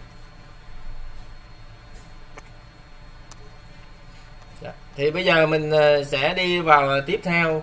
Cũng công thức nhân nhưng mà nó áp dụng cho hai biến cố độc lập. Thấy không? Ta có định nghĩa 7 1.15 ờ, tức là hai biến cố AB được gọi là độc lập và ờ, nếu như là xác suất của biến cố A giao B bằng xác suất của biến cố A rồi nhân cho xác suất của biến cố B Thấy không Đấy.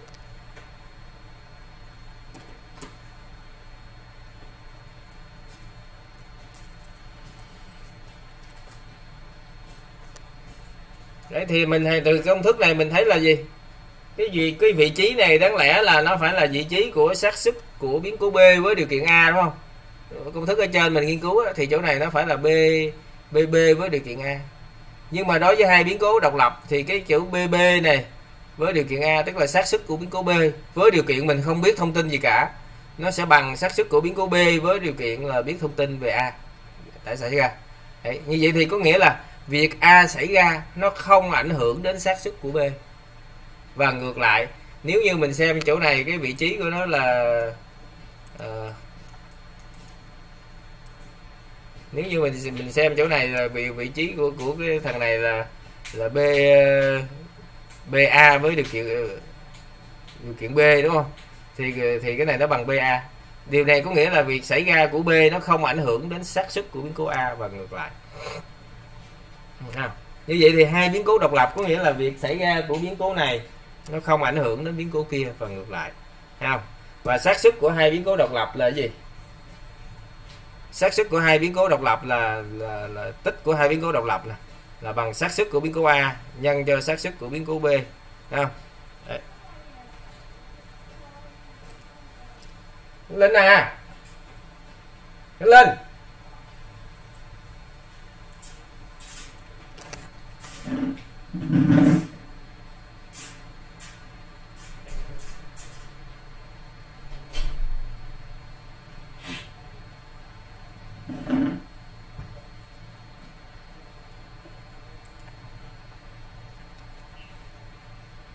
Rồi tiếp tiếp theo. Là mình nghiên cứu cái ví dụ này cái ví dụ về à, hai biến cố độc lập không? Đó là mình à, có hai đựng à, hộp đựng các quả cầu. Cái hộp một đó thì nó năm quả cầu xanh và ba quả cầu đỏ. Có 8 quả ha. Hộp 2 thì hai quả cầu xanh và 6 quả cầu đỏ. Thì từ mỗi hộp mình lấy ra một quả cầu. Bây giờ tính xác suất là hai hai quả cầu lấy ra cùng màu xanh. À, thì giả sử như cái hai cái hộp này mình mình mình đổ mình đổ các cái quả cầu này vô cùng một hộp. Và trong cái hộp đó mình lấy ờ, lần lượt ờ, không hoàn lại hai quả cầu. Bây giờ tính xác suất hai quả cầu cùng màu xanh thì nó ra bao nhiêu? Còn nếu mà trường hợp mà mình để hai cái hộp riêng biệt như thế này, bây giờ mình lấy ngẫu nhiên từ mỗi hộp ra một quả cầu ờ, tính xác suất là cả hai quả cầu cùng màu xanh. Thấy không? Là là bao nhiêu? Thấy không? Thì đây trong ví dụ 1.30 này của mình như thế Thấy thì bây giờ mình đặt a ai là biến cố. Quả cầu lấy ra từ hộp thứ y là màu xanh. Thứ y ờ, bằng một hai đúng không? Như vậy thì ở đây mình có hai biến cố là A1 A2 nè. Đấy. và xác suất của biến cố A1 là 5 phần 8 Đó, dạ, xác suất của biến cố A2 là 2 phần 8 Thấy không? Ờ, xác suất của biến cố A1 là 5 phần 8 tại vì cái hộp 1 là nó có 5 quả cầu xanh đó. 5 quả cầu xanh, trong tổng số 8 quả cầu. Vậy thì xác suất lấy được quả cầu xanh là 5 phần 8 còn cái hộp 2 của mình đó là nó có hai quả cầu xanh trong số 8 quả cầu. Thấy không? Cho nên là xác suất lấy được quả cầu xanh ở trong cái hộp thứ hai là bằng à, 2 phần 8 Đấy. và AB A1 A2 này nó độc lập nhau. Và mình áp dụng công thức nhân xác suất cho trường hợp hai biến cố độc lập. Thì nó sẽ bằng xác suất của biến cố A một dân xác suất biến cố A2 và thế số vô rồi được 5 phần 32 Đấy. còn ở trường hợp B là lấy tính xác suất hai quả cầu lấy ra cùng màu. Thì ở đây là cùng màu xanh không? Cùng màu xanh là cái này.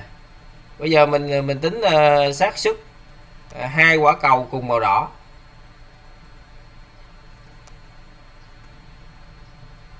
Cùng màu đỏ. Cùng màu đỏ nó chính là xác suất của biến cố A1 ngang giao với A2 ngang đúng không? Đó, thì áp dụng công thức nhân xác suất độc lập thì nó sẽ là BA1 ngang nè. Nhân cho BA2 ngang nè, thấy không? Thì lúc này nó sẽ bằng là cái gì? Ờ, A1 ngang là bằng bao nhiêu? Là 3 phần 8 không? Rồi A2 ngang là bằng 6 phần 8 rồi nhân là thì mình sẽ được bao nhiêu? Bao nhiêu ạ? À? 9 phần 32 đúng không? 9 phần 32 như vậy thì nếu mà hai quả cùng màu thì cùng màu xanh hoặc cùng màu đỏ. Rồi cái này 5 phần 32 cộng 9 phần 32 là 14 phần 32 tức là 7 phần 16 đúng không? Đấy. Rồi. Giờ câu hỏi liên quan đến cái bài này. Xác suất hai quả cầu lấy ra khác màu là bao nhiêu? Rồi giờ thầy hỏi em trả lời. Nguyễn Minh Thuận Nguyễn Minh Thuận. Nguyễn Minh Thuận có dạ mặt có. có Thuận vô làm bài kiểm tra được chưa em? Dạ em vô được rồi thầy. Mà kiểu em đang làm tự nhiên em nhấp lộn cái khác nó nhân ra nữa. Cái mới làm được có 5 câu cái bắt đầu nhân ra nó tính điểm em luôn. Rồi. rồi em làm được mấy lần rồi? Em làm hai lần rồi thầy. Hai lần luôn hả? Dạ. Vậy là nó cũng bị dân ra vậy đó hả nó bị đúng cái lỗi đó luôn. Thầy lỡ mà em đang làm câu ờ, một mà em chờ em lỡ mà em nhắm qua cái lộn cái câu khác hay là, nó bay ra cái, cái, cái, nó bay chỗ khác không cho em đảo được chỗ đó em làm nữa. Vậy hả? Dạ. Như vậy thì ờ, được có 5 điểm à? Ờ, mới có 4 điểm không được 5 điểm nữa nè. Vậy hả kẹt gì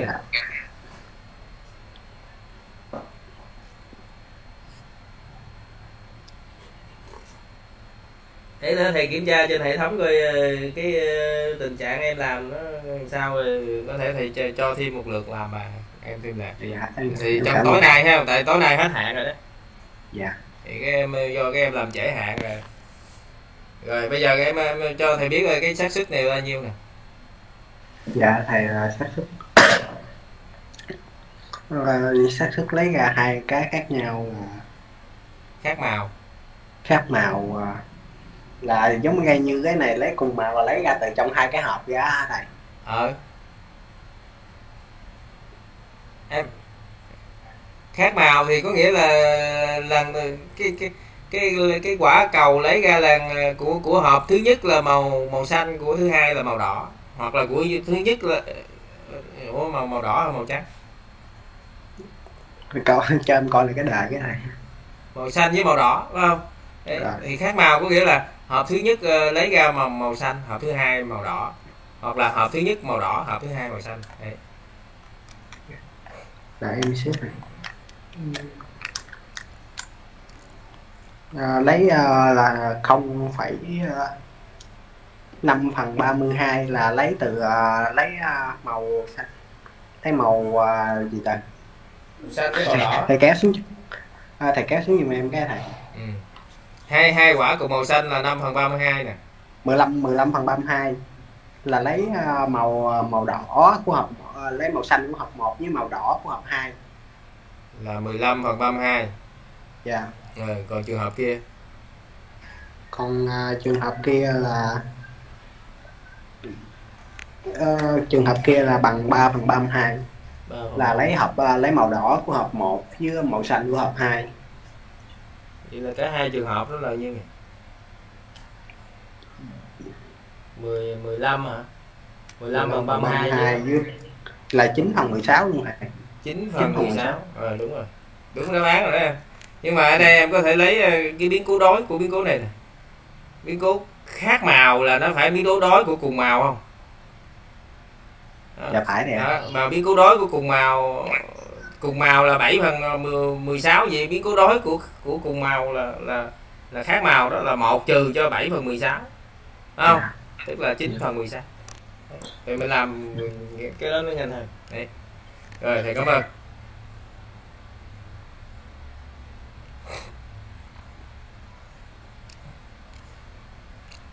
Rồi ờ, tiếp tục cái định nghĩa là của ờ, n biến cố độc lập phải không thì n biến cố độc lập là là như thế này em. N biến cố độc lập là n biến cố mà trong đó việc xảy ra hay là không xảy ra của một hay là một số biến cố trong đó, đó nó không ảnh hưởng đến xác suất của các biến cố còn lại ha. Thì đối với n biến cố độc lập đó thì mình sẽ có công thức ờ, nhân cho n biến cố độc lập như thế này. Nhân ờ, xác suất cho nhiều biến cố độc lập tức là xác suất của biến cố tích bằng tích các xác suất. Không? Đấy và mình có một cái tính chất như thế này các em à, nếu như AB là hai biến cố độc lập thì A ngang B cũng độc lập rồi A B ngang cũng độc lập rồi A ngang B ngang cũng độc lập. Còn nếu A B C là ba biến cố độc lập thì ba biến cố là A ngang B C rồi A B ngang C rồi A B C ngang hoặc là A ngang B ngang C A ngang B ngang C ngang à, A ngang B ờ, C ngang. Thấy không? Là cũng độc lập với nhau. Đấy. tức là nó có ờ, thêm ờ, 7 7 cái bộ ba biến cố nữa. Thấy không? Thì cái chỗ này là hình như là thì thì cái, cái này là là C không có gạch nè. C không có gạch rồi tới B không có gạch tới chỗ này là B không có gạch Rồi, chỗ này là B không có gạch Đấy, ờ ở B không có gạch rồi phải không? Vậy thì chỗ chỗ ờ, chỗ này là A, không có gạch mới đúng.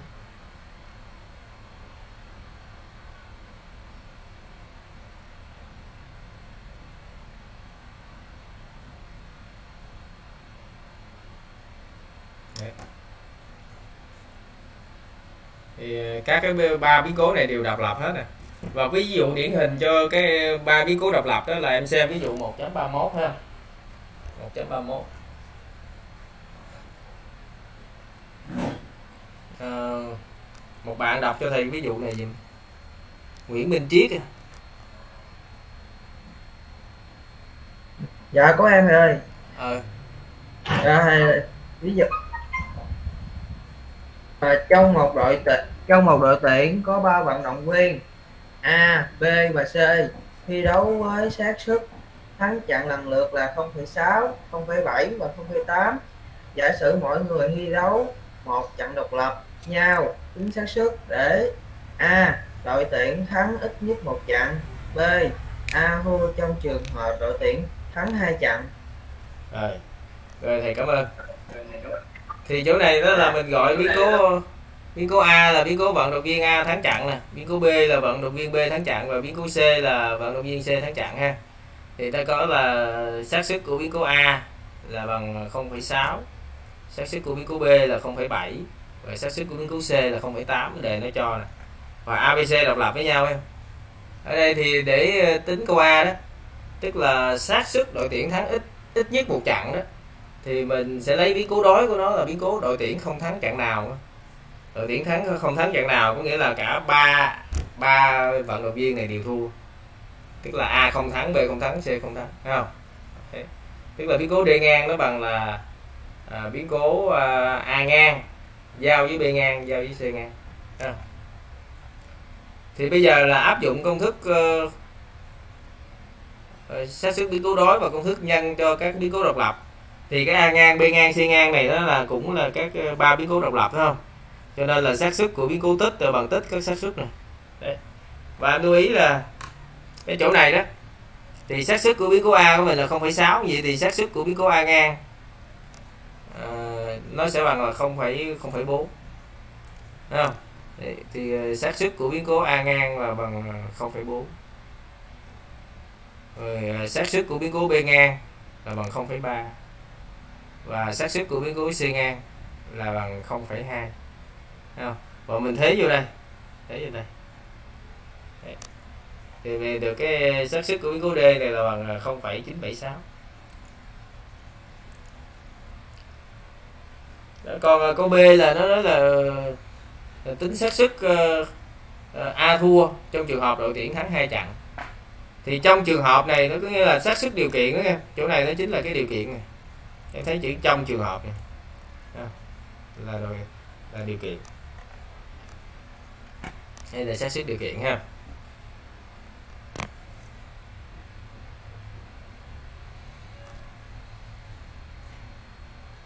đó, thì ờ, ở đây nó có hai biến cố. Vì, biến cố thứ nhất là biến cố a thua. Biến cố a thua.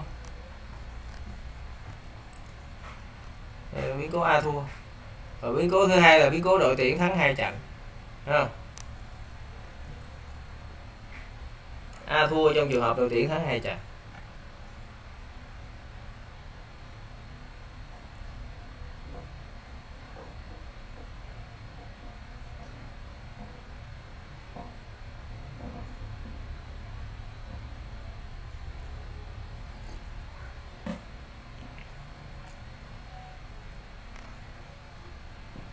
Thì ờ, mình, ờ, mình như vậy thì mình sẽ tính ờ, xác suất A thua là cái này. Rồi đội tuyển thắng hai trận là biến cố E này mình tính là cái này. Như thì từ, từ mình phải tính xác suất biến cố E. Biến cố E là biến cố là đội tuyển thắng hai trận không? Nó có ba trường hợp là gì? A thắng B thắng C thua. Hoặc là, là A thắng C thắng B thua. Hoặc là A thắng A, A thua B C thắng.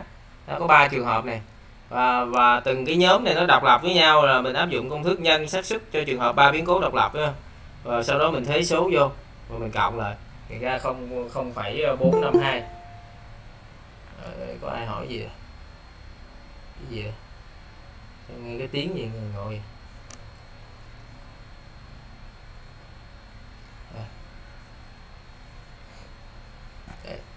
Vậy thì chỗ này ra không phải bốn năm hai và bây giờ mình tính xác suất A thua trong trường hợp đội tuyển thắng hai trận. Thì cái này là xác suất điều kiện á xác suất điều kiện. Thì ở đây mình sẽ lấy A ngang giao với E không nhưng mà cái A ngang này là là nó là con ờ, A ngang A ngang giao với E thì nó sẽ là A ngang BC ha. À, biến cố A ngang mà giao với biến cố E. Biến cố E là nó như thế này nha. Biến cố E là A B C có một cái gạch đầu. A, B, C có cái gạch đầu. A, B, C có cái gạch đầu. Như thế này. Và cái này cộng lại. Và cái biến cố A ngang này là mình đem giao với giao với cái biến cố ờ, tổng này. Thì nó sẽ ra biến cố này. Biến cố này. Không? cho nên là A ngang mà giao với E thì nó sẽ ra là A ngang BC đó. và tiếp tục mình thế số vô mình tính ha thế số vô tính. Thì nó ra được cái đáp án này. Đấy. thì qua cái bài này thầy lại hỏi em là thì gọi F là biến cố đội tuyển thắng một trận.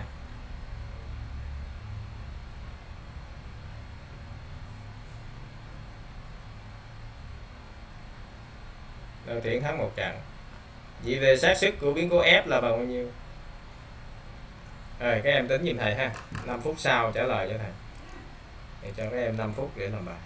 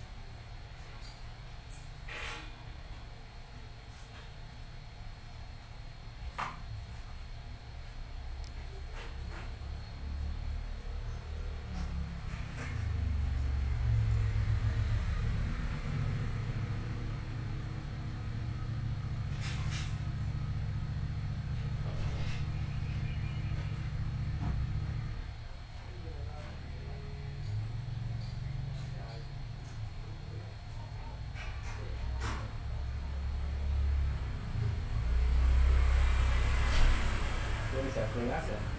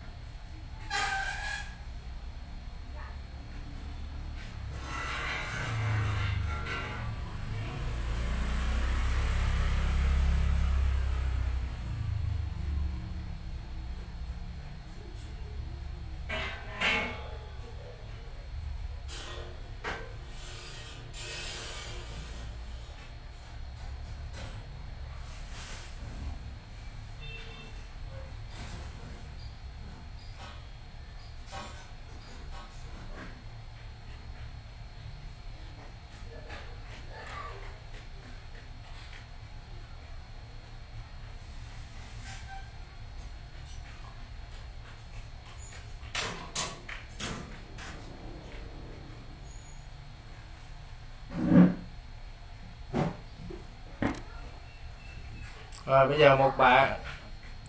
Bây giờ một bạn trả lời câu hỏi cho thầy ha.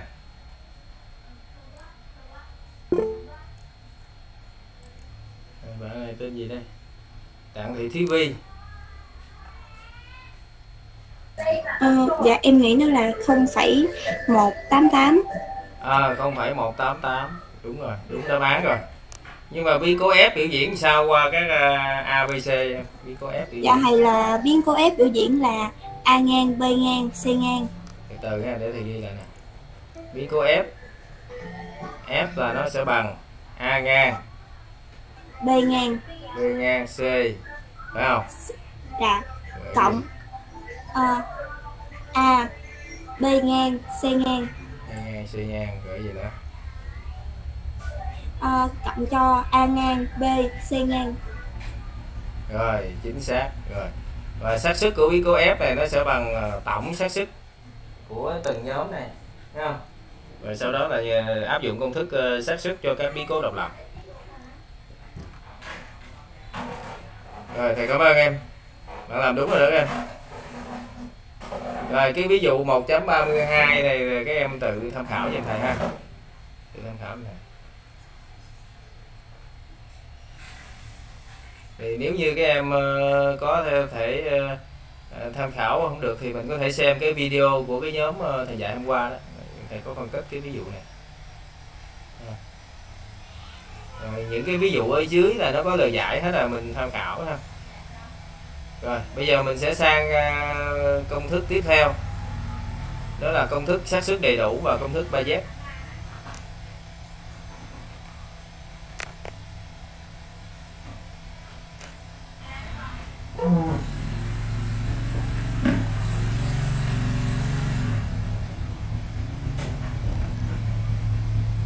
thì bây giờ đó là thầy nhắc lại là cái hệ đầy đủ các biến cố là như thế này.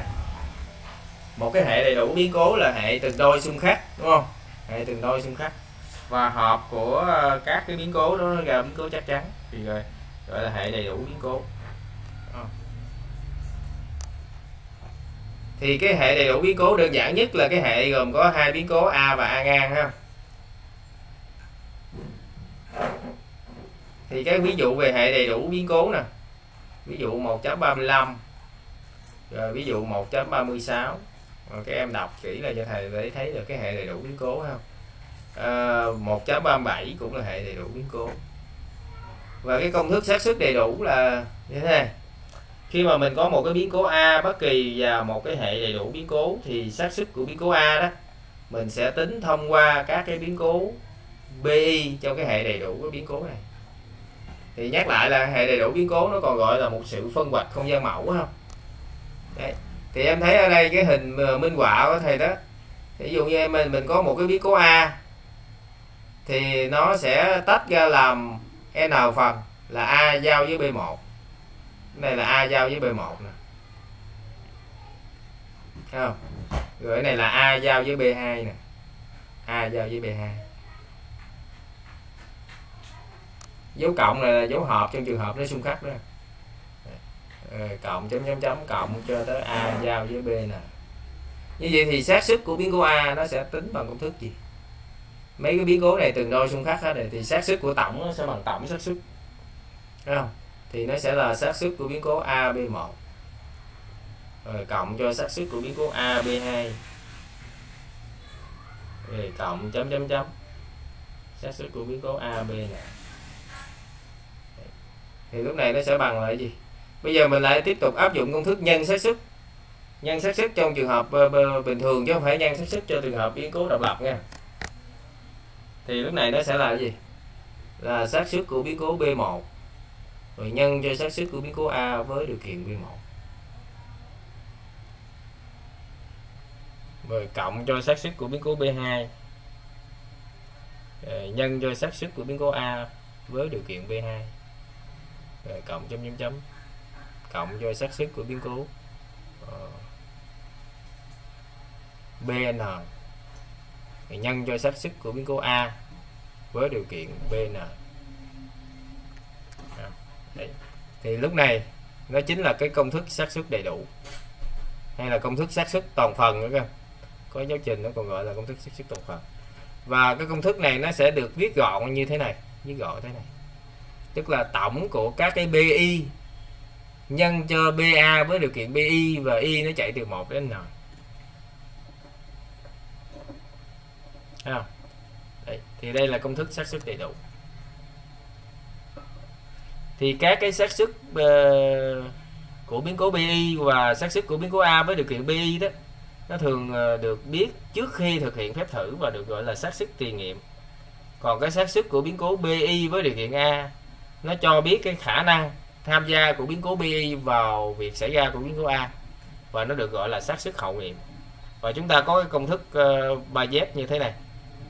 Thì cho A là một biến cố bất kỳ có xác suất dương B1, B2 đến BN là hệ đầy đủ các biến cố. Thì khi đó với mỗi cái biến cố Z ờ, với mỗi cái số Z nằm trong là một cái số từ 1 đến N đó thì mình sẽ có xác suất của biến cố BZ với điều kiện A nó sẽ tính theo công thức này. Đó, tức là nó sẽ bằng à, xác suất của biến cố BZ nhân cho xác suất của biến cố A với điều kiện BZ và chia cho cái tổng của uh, các cái biến cố B, BI nhân cho BA với điều kiện BI uh, ờ, với với Y chạy từ 1 đến N. Nói tóm lại là uh, xác suất của biến cố bz với điều kiện A là cái số hạng thứ G trong cái tổng uh, trong cái tổng của cái cái BI nhân BA với điều kiện BI này. Không? Thì trong cái tổng này là, là mình thấy là nó có ở đây nó có n số hạng phải không đây, đây có n số hạng cái này nó có n số hạng cái tổng này nó có n số hạng nha. Là là là số hạng thứ nhất nè. Số hạng thứ hai nè nhân dân số hạng thứ n. Và ở đây mình sẽ lấy cái số hạng thứ g chia cho tổng cái n số hạng này thì mình sẽ được là cái ờ, xác suất của biến cố bz với điều kiện a. Bz với điều kiện a. Đấy, thì cái bz với điều kiện a này nó cho biết là là mỗi cái biến cố bz nó tham gia bao nhiêu phần? Khi mà cái biến cố a này xảy ra. À, tức là nó xảy ra với xác suất là bao nhiêu? À, nhiều ít.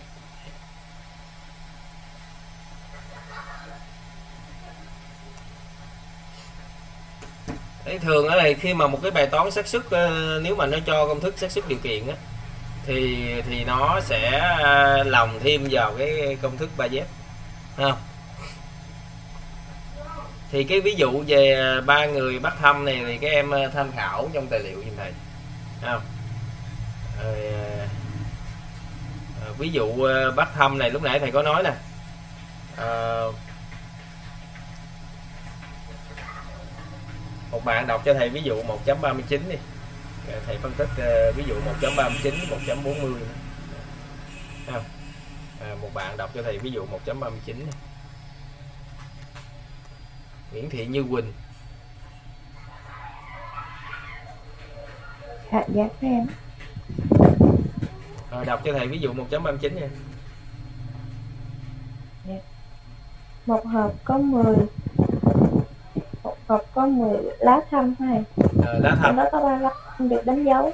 Ba người mỗi người lần lượt rút một thăm. Tính xác suất rút thăm chúng tính xác suất lúc chúng thăm đánh dấu của mỗi người. Rồi thầy cảm ơn. Ở đây là một cái hộp này nó có 10 lá thăm ha, thì có ba lá thăm đánh dấu. Bây giờ ba người mỗi người lần lượt rút một thăm. À, tính xác suất là là người thứ nhất chúng thăm người thứ hai chúng thăm. Có đánh dấu ha? người thứ ba chúng thăm có đánh dấu. Xác suất là nhiêu? Đấy, thì mình đặt AI là biến cố người thứ y rút được thăm có đánh dấu nè thì đã có xác suất của biến cố A1 là bằng 3 phần 10 cái này là là hiển nhiên rồi, đúng không? Đấy. bây giờ người thứ nhất đã rút thăm thì mình sẽ có cái hệ A1 với A1 ngang là hệ đầy đủ biến cố. Đúng chưa? Và bây giờ mình sẽ tính xác suất của biến cố A2 không? A2 thì áp dụng công thức xác suất đầy đủ thì mình có xác suất của biến cố A2 nè. Nó sẽ bằng xác suất của biến cố A1 mà nhân cho xác suất của biến cố A2 với điều kiện A1 và cộng cho xác suất của biến cố A1 ngang. Rồi nhân cho xác suất của biến cố A2 với điều kiện A1 ngang. Đấy. thì thế số vô mình tính toán rồi ra 3 phần 10 được chưa?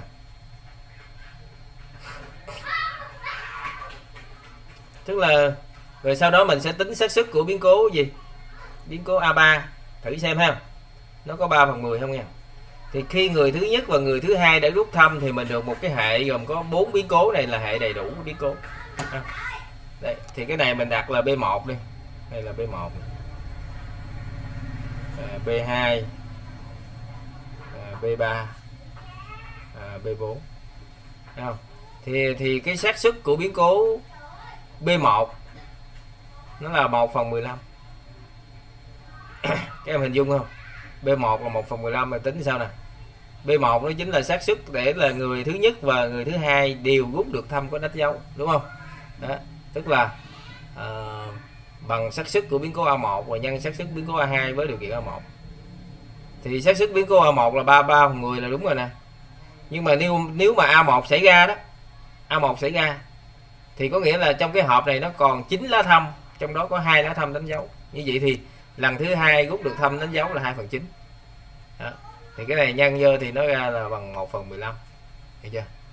Thế bây giờ thầy hỏi là tại sao uh, xác suất của biến cố A3 với điều kiện A1 A2 là 1 phần 8 bạn nào giải thích được cho thầy?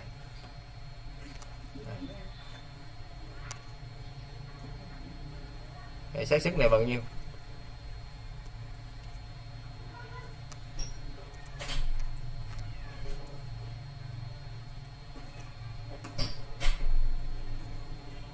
Rồi bạn giải, thích dùm thầy cái này coi.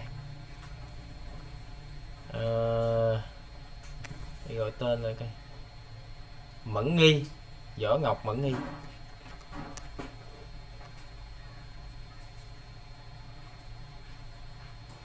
Dạ thầy em theo kịp câu hỏi thầy không? Dạ thầy hỏi lại thầy. Thì hỏi là, là tại sao cái xác suất của biến cố A3 với điều kiện A1 A2 này bằng 1 phần 8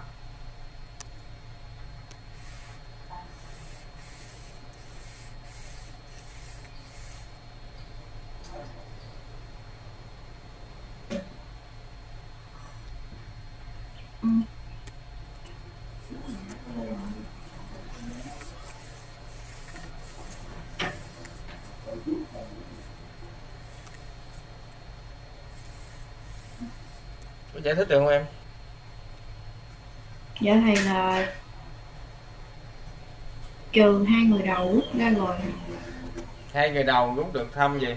Thăm có đánh dấu hay là không đánh dấu? Dạ thầy là có. À, có đánh dấu như vậy thì trong cái hộp mình còn mấy lá thăm? Dạ thầy là còn một. Một lá thăm có đánh dấu. Phải không? Dạ trong tổng số mấy lá thăm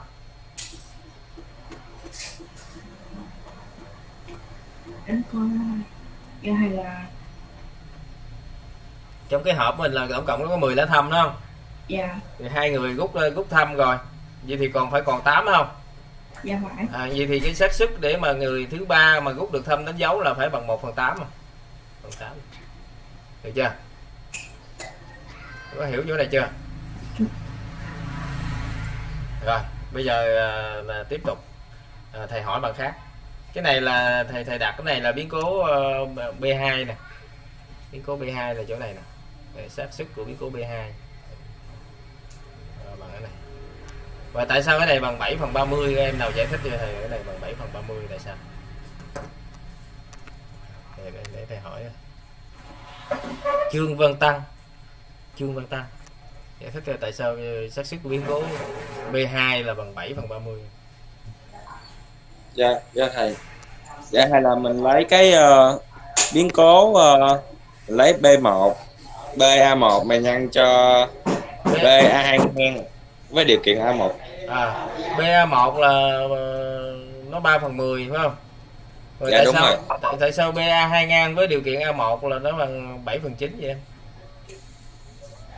BA2 ngang hay là 7 phần 9 với điều kiện A1 là tại sao bằng 7 phần 9 dạ hay là nếu BA2 A2 hay là ngang. A2 bóc, ngang có nghĩa là gì? A2 ngang có nghĩa là gì? Hai ngang có nghĩa là cái lá thăm thứ hai là mình ờ, bóc chúng ờ, không có đánh dấu. Ờ đúng rồi bạn bóc ba lá nhưng mà lá thứ hai không có đánh dấu rồi nếu như ờ, điều kiện A1 có đánh dấu sẽ là còn lại ờ, trong tổng số 10 lá sẽ còn lại là 9 lá là bằng 7 phần 10, 7 phần 9 rồi cảm ơn em Rồi, chính xác à. vậy thì 7 phần Dạ. 9 này mình nhân cho 3 phần 10 thì nó ra được là bà, bà, mà 7 phần 30 không dạ rồi một bạn giải thích cho thầy coi cái, cái, cái chỗ mà thầy tô màu vàng này coi là là bao nhiêu tô màu vàng không được rồi. Bây giờ mình tô màu khác này khoanh màu khác này. thầy khoanh màu màu cam. Màu cam như thế này. Một bạn giải thích cho thầy cái công thức này coi ạ.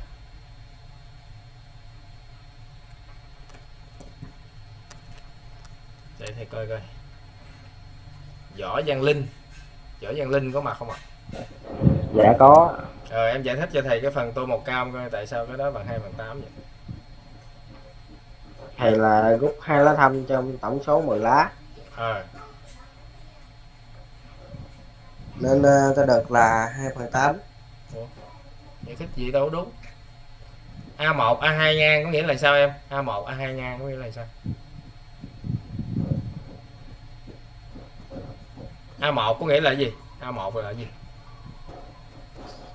Như thầy là A1 có nghĩa là người thứ nhất người thứ nhất rút được thăm gì? Người, người, người thứ nhất rút được ờ, rút được thăm. Có đánh dấu hay không đánh dấu? Có đánh dấu. Ờ đúng rồi. Rồi A2 ngang có nghĩa là gì? Ai thứ hai là người không rút được thăm ờ, người thứ hai. không đánh không đánh dấu. À, rút được thăm không đánh dấu đúng không? Như vậy thì trong 10 là lá thăm này mình còn lại mấy lá thăm với điều Còn, kiện. ờ, hai lá không với điều kiện ờ, mà, mà, mà. Đó còn 8 lá thầy ơi? Ờ, còn 8 còn lá. còn 8 lá. Mà trong đó còn mấy lá thăm đánh dấu? Còn ờ, hai lá thăm. Hai lá thăm. Ờ đúng rồi. Như vậy thì thì với điều kiện A1 A2 ngang này xảy ra này các em có nghĩa là trong cái hộp mình nó còn đúng 8 lá thăm mà trong đó còn đúng hai tấm lá thăm có đánh dấu tại vì A1 A2 ngang này có nghĩa là chỉ có người thứ nhất rồi rút được thăm đánh dấu thôi người thứ hai thôi ờ, rút được thăm không đánh dấu rồi đúng không? Cho nên là cái hộp mình còn 8 lá thăm mà có đúng hai lá thăm không đánh dấu ờ, có đánh dấu. Cho nên cái cái người thứ ba mà rút được thăm đánh dấu là xác suất là 2 phần 8 đúng không? Đây 2 phần 8 và tương tự như vậy thì ở dưới đây đó ờ, những cái ờ, cái- những cái xác suất ở dưới đây đó là em em em xem em tìm hiểu em lý giải giùm thầy ha. Rồi sau đó mình dùng cái công thức xác suất đầy đủ công thức xác suất đầy đủ. Thấy không? À, mình mình tính toán lại thì nó ra cái này cũng đúng bằng 3 phần 10 như vậy thì mình thấy là à, trong ba người bắt thăm thì xác suất người thứ nhất rút được thăm đánh dấu là 3 phần 10 rồi xác suất người thứ hai rút được thăm có đánh dấu cũng là 3 phần 10 và xác suất người thứ ba rút được thăm có đánh dấu cũng là 3 phần 10 như vậy thì việc rút thăm ờ, xác suất rút được thăm có đánh dấu là nó không ảnh hưởng. Uh, nó không bị chi phối bởi cái thứ tự rút thăm. Thấy không? Đấy, tức là mình rút muốn rút trước rút sau rút giữa gì xác suất nó cũng uh, được thăm có đánh dấu đều như nhau hết. Thấy không? Đây là mình rút ra không hoàn lại nha. Còn hiển nhiên là nếu mà em rút ra có hoàn lại thì nó cũng như vậy thôi. Thấy không? ví dụ như là bây giờ mình ờ, một người thứ nhất mà rút được thăm coi có đánh dấu hay không rồi mở ra được kết quả như rồi ship cái thăm nó lại đẩy vô lại hãy vô lại. Thì người thứ hai rút thăm thì nó cũng xác suất bằng nhiêu? Bằng 3 phần 10 như thế thôi. Đấy. rồi bây giờ mình à, tiếp à, tục à, nghiên cứu ví dụ 1.40 ha. 1.40 à, một em đọc cho thầy ví dụ 1.40 à, để coi. Bây giờ thì rồi bạn Dương Thị Kim Hồng đọc cho thầy coi. Dương Thị Kim Hồng. Dạ. ờ em đọc cho thầy ví dụ 1.40 một lô hạt do một lô hạt giống gồm gồm làm ba đi. Một lô hạt giống gồm làm ba loại để lẫn lộn. Loại một chiếm 2 phần 3 số hạt loại 2 chiếm 1 phần tư còn lại là loại 3 lệ tỷ lệ nảy mầm của loại 1, loại 2 và loại 3 theo thứ tự là 80%, 70%. và 50% lấy ngẫu nhiên một hạt từ lô hạt giống. bỏ cái chữ này rồi tính ờ, câu A là gì em? A tính xác suất để hạt giống lấy ra là nảy mầm được. Ý nghĩa của ý nghĩa của xác suất này đối với lô hạt giống là gì? B. Giả sử hạt giống lấy ra là nảy mầm được, tính xác suất để hạt giống đó thuộc loại 2. C. Giả sử hạt giống lấy ra là không nảy mầm được, nhiều khả năng nhất là hạt giống đó thuộc loại nào? Tại sao? rồi thầy cảm ơn thì bây giờ đó là ở đây đó là mình ờ, mình gọi ờ, tên biến cố như thế này em gọi A là biến cố hạt giống lấy ra nảy mầm được ha và BI là biến cố hạt giống lấy ra thuộc loại thứ Y thì ở đây mình có Y bằng 1, 2, 3 nè. Thì đề bài nó cho nó là xác suất loại 1 là 2 phần 3 à, ờ, trong đây là xác suất của loại 1 là 2 phần 3 tức là B ờ, xác suất của biến cố B1 là 2 phần 3 và xác suất của biến cố B2 là 1 phần 4 ha. 1 phần 4 đây 1 phần 4 và còn lại loại 3 tức là xác suất của biến cố ờ, uh, B3 là 1 trừ cho tổng này tức là trừ bằng 1 phần 12 còn cái xác suất điều kiện là gì? Nếu như hạt giống đó là thuộc loại 1 thì tỷ lệ nảy mầm nó là 80% tức là xác suất nó nảy mầm với điều kiện nó thuộc loại 1 là 0,8 rồi xác suất nó nảy mầm với điều kiện nó thuộc loại 2 là 0,7 và xác suất nó nảy mầm với điều kiện nó thuộc loại 3 là 0,5 và mình áp dụng công thức xác suất đầy đủ. Trong trường hợp này thì mình tính được xác suất của biến cố A. Tức là nó bằng xác suất của biến cố B1 nè. Nhân xác suất biến cố A với điều kiện B1 rồi cộng cho xác suất của biến cố B2 nhân xác suất biến cố A với điều kiện B2 rồi cộng cho xác suất của biến cố B3 nhân xác suất biến cố B2 với điều kiện B3 Đấy, như vậy thì nó ra được cái 0,75 và cái BA này nó chính là tỷ lệ nảy mầm chung của cả lô hạt giống. Ha tỷ lệ nảy mầm chung của lô hạt giống tức là 75 phần trăm. Vậy thì hạt giống là mình chọn lên theo tỷ lệ này thì nó có tỷ lệ nảy mầm là 75 phần trăm thì qua câu A này bây giờ thầy đặt cho em một cái câu hỏi. Đặt cho em một câu hỏi. Là à, nếu như nếu thầy cho là là, là loại 1 50 phần trăm loại 1 50 phần trăm. Ở đây nó cho loại 1 là 2 phần 3 nè 2 phần 3 nhưng mà bây giờ nếu mà thầy cho loại 1 50 phần trăm loại 2 30 phần trăm và loại 3 là 20 phần trăm. Thì cái BA nó bằng bao nhiêu? BA bằng bao nhiêu?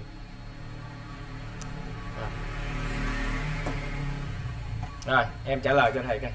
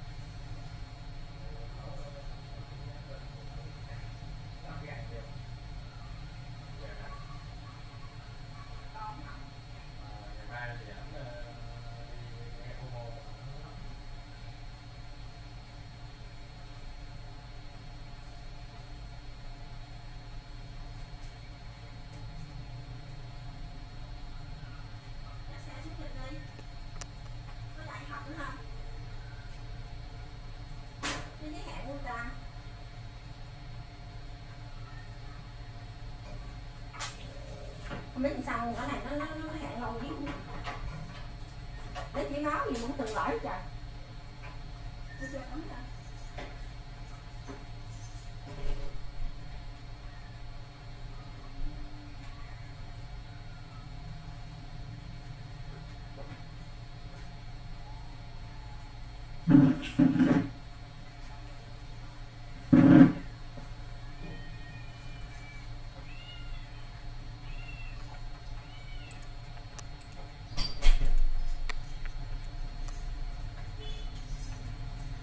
rồi bạn ờ, đặng thị thí vi tính ra kết quả chưa?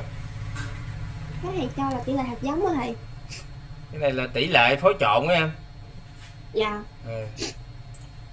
thầy nếu mà nó là tỷ lệ phối trộn thì em tính được 0.71 0,71 em lấy ờ, 0.5 em lấy 0.5 nhân cho 0.8 cộng cho 0.3 nhân cho 0 0.7 cộng cho 0.2 nhân cho 0.5 thì ra là 0.71 rồi, thầy cảm ơn, cái này rất chính xác. Rồi, nếu như mình mình phối trộn theo tỷ lệ này 50% loại 1 rồi 30% loại 2 rồi 20% loại 3 thì khi đó mình được tỷ lệ nảy mầm là 71% không? còn nếu mà mình à, cho tỷ lệ theo kiểu giống như trong cái đề bài thì thì cái tỷ lệ nảy mầm là là 75% cái này 75% nè. Còn cái này là 71% nè. Không? À, có nghĩa là mình sẽ thay đổi cái tỷ lệ phối trộn thì nó sẽ ra được một cái loại hạt giống mới có tỷ lệ nảy mầm khác. Nhưng mà em cũng phải lưu ý là cái tỷ lệ nảy mầm này đó là nó sẽ gơ vào giữa hai con số. Đó là số nào? Cái số lớn nhất này và cái số nhỏ nhất này không đó. tức là từ 0,5 đến 0,8 nó sẽ ra kết quả như thế. Không? À, ờ, tùy theo cái tỷ lệ phối trộn của em. Thấy không nó sẽ thay đổi. Nhưng mà nó không thay đổi vượt quá con số 0,8 này Đấy, tại vì cái tỷ lệ nảy mầm cao nhất của em là 0,8 rồi. Đấy, ờ, cái loại tốt nhất là 0,8 rồi. Bây giờ em phối trộn kiểu gì thì nó cũng không thể nào mà ra được cái tỷ lệ nảy mầm vượt quá cái số lớn nhất này. Đấy, thì đó là cái vấn đề là công thức uh, xác suất đầy đủ. Bây giờ đó là mình sang cái cái câu B chỗ này. Giả sử hạt giống lấy ra nảy mầm được tính xác suất hạt giống đó thuộc loại 2 không tính xác suất hạt giống nó thuộc loại 2 đây. Thì bây giờ hạt giống nó thuộc loại 2 là xác suất của biến cố B2 với điều kiện A. Cái này mình chỉ dùng công thức 3Z đó nha. Công thức 3Z thì cái này nó ra 7 phần 30 ha. À, thì xác suất của biến cố B2 với điều kiện A bằng xác suất của biến cố B2 rồi nhân xác suất biến cố A với điều kiện B2 cái này nó có kết quả rồi nè. Cái này ở trong cái đề bài của mình đó là nó bằng ờ, 1 phần tư phải không?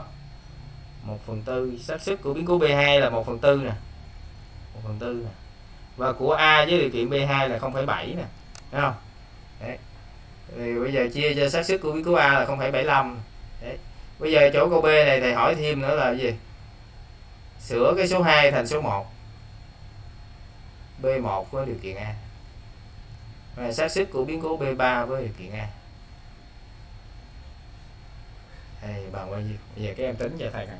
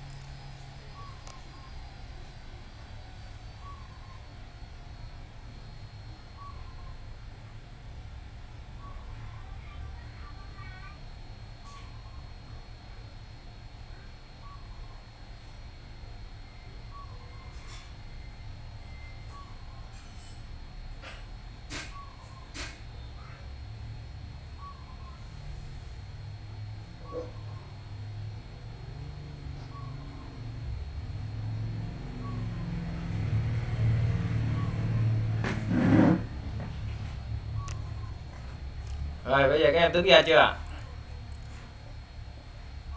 à, thầy lại bạn hỏi bạn Quỳnh Quốc Dũng á.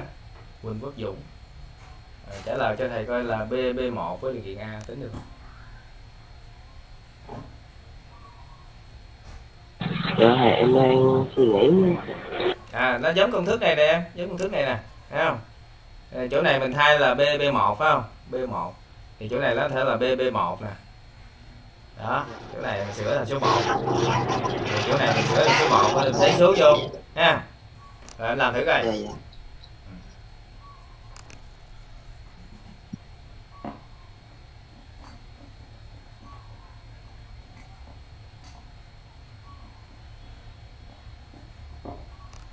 Hai phần hai phần ba nhân cho nhân cho không phẩy bảy thì em tính ra luôn đi em em thế vô em tính ra luôn. Cho, cho thầy kết quả cuối cùng là phân số giống gì nè. Phân số giống gì nè. Dạ dạ.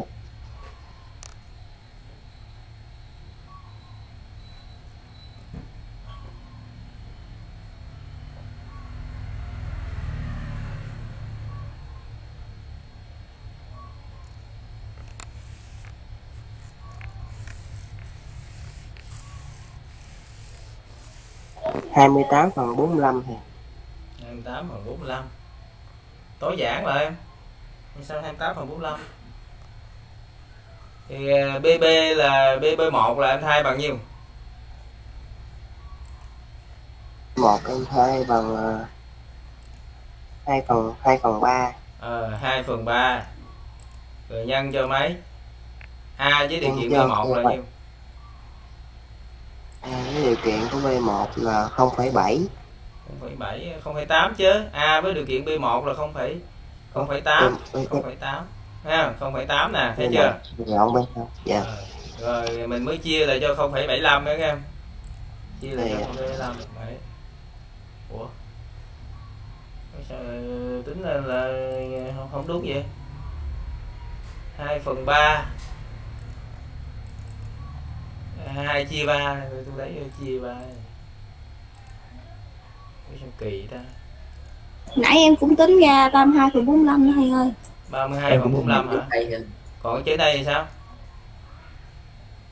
Ở đây là 32 phần 45 hả em? 32 phần 45 còn chỗ này? 1 phần 18 1 phần 18 và em làm, làm tròn thành cái số thập phân nhìn thầy coi thập phân rồi.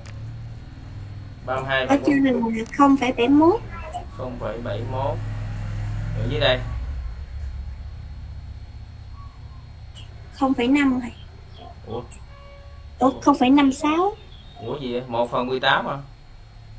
Hả? Không phải không không phải sáu. Em nhìn thiếu số 0 đó thầy không phải không mấy. 56 Rồi 56 còn chỗ này chỗ này 7 phần 30 em bấm ờ, kết quả ờ, phân số thập phân cho thầy số thập phân. 0,23 0,23 thế thì em thấy là ba cái này Thấy không? nếu như cái hạt giống lấy ra mà nảy mầm được á nảy mầm được ha. Nảy mầm được. Thì nhiều khả năng nhất đó dạng thuộc loại một không? Nhiều khả năng nhất nó thuộc loại một. Này. ví dụ như cái câu B này ta không có hỏi là gì?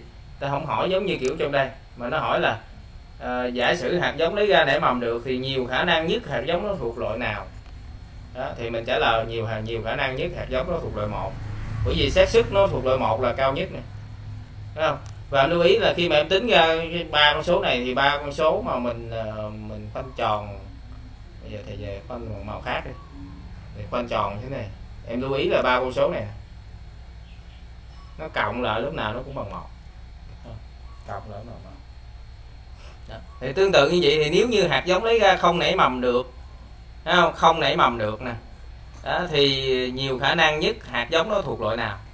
Thì nó sẽ tính xác suất B1 với điều kiện A ngang, rồi xác suất B B2 với điều kiện A ngang, rồi xác suất B3 với điều kiện A ngang, rồi nó đánh giá xem là coi nó thuộc loại nào. Thấy không? Nhiều khả năng nhất thuộc loại nào. Đó, như vậy thì ở đây đó là thầy vừa ờ, cung cấp cho các em là các cái công thức tính xác suất ha các công thức xác suất à, còn các cái ví dụ như là ví dụ uh, 41 uh, 42 thì các em tự tham khảo như này. Ờ, tự đọc như này. Còn quá trình Bernoulli này nữa mình sẽ nghiên cứu ở trong cái chương 3 đó là là các cái phân phối xác suất ờ, thông dụng không? Đấy, quá trình Bernoulli nó chính là phân phối nhị thức. Thì nữa mình sẽ nghiên cứu kỹ lại chỗ đó. Còn chỗ này thì em đọc thêm thôi. Rồi.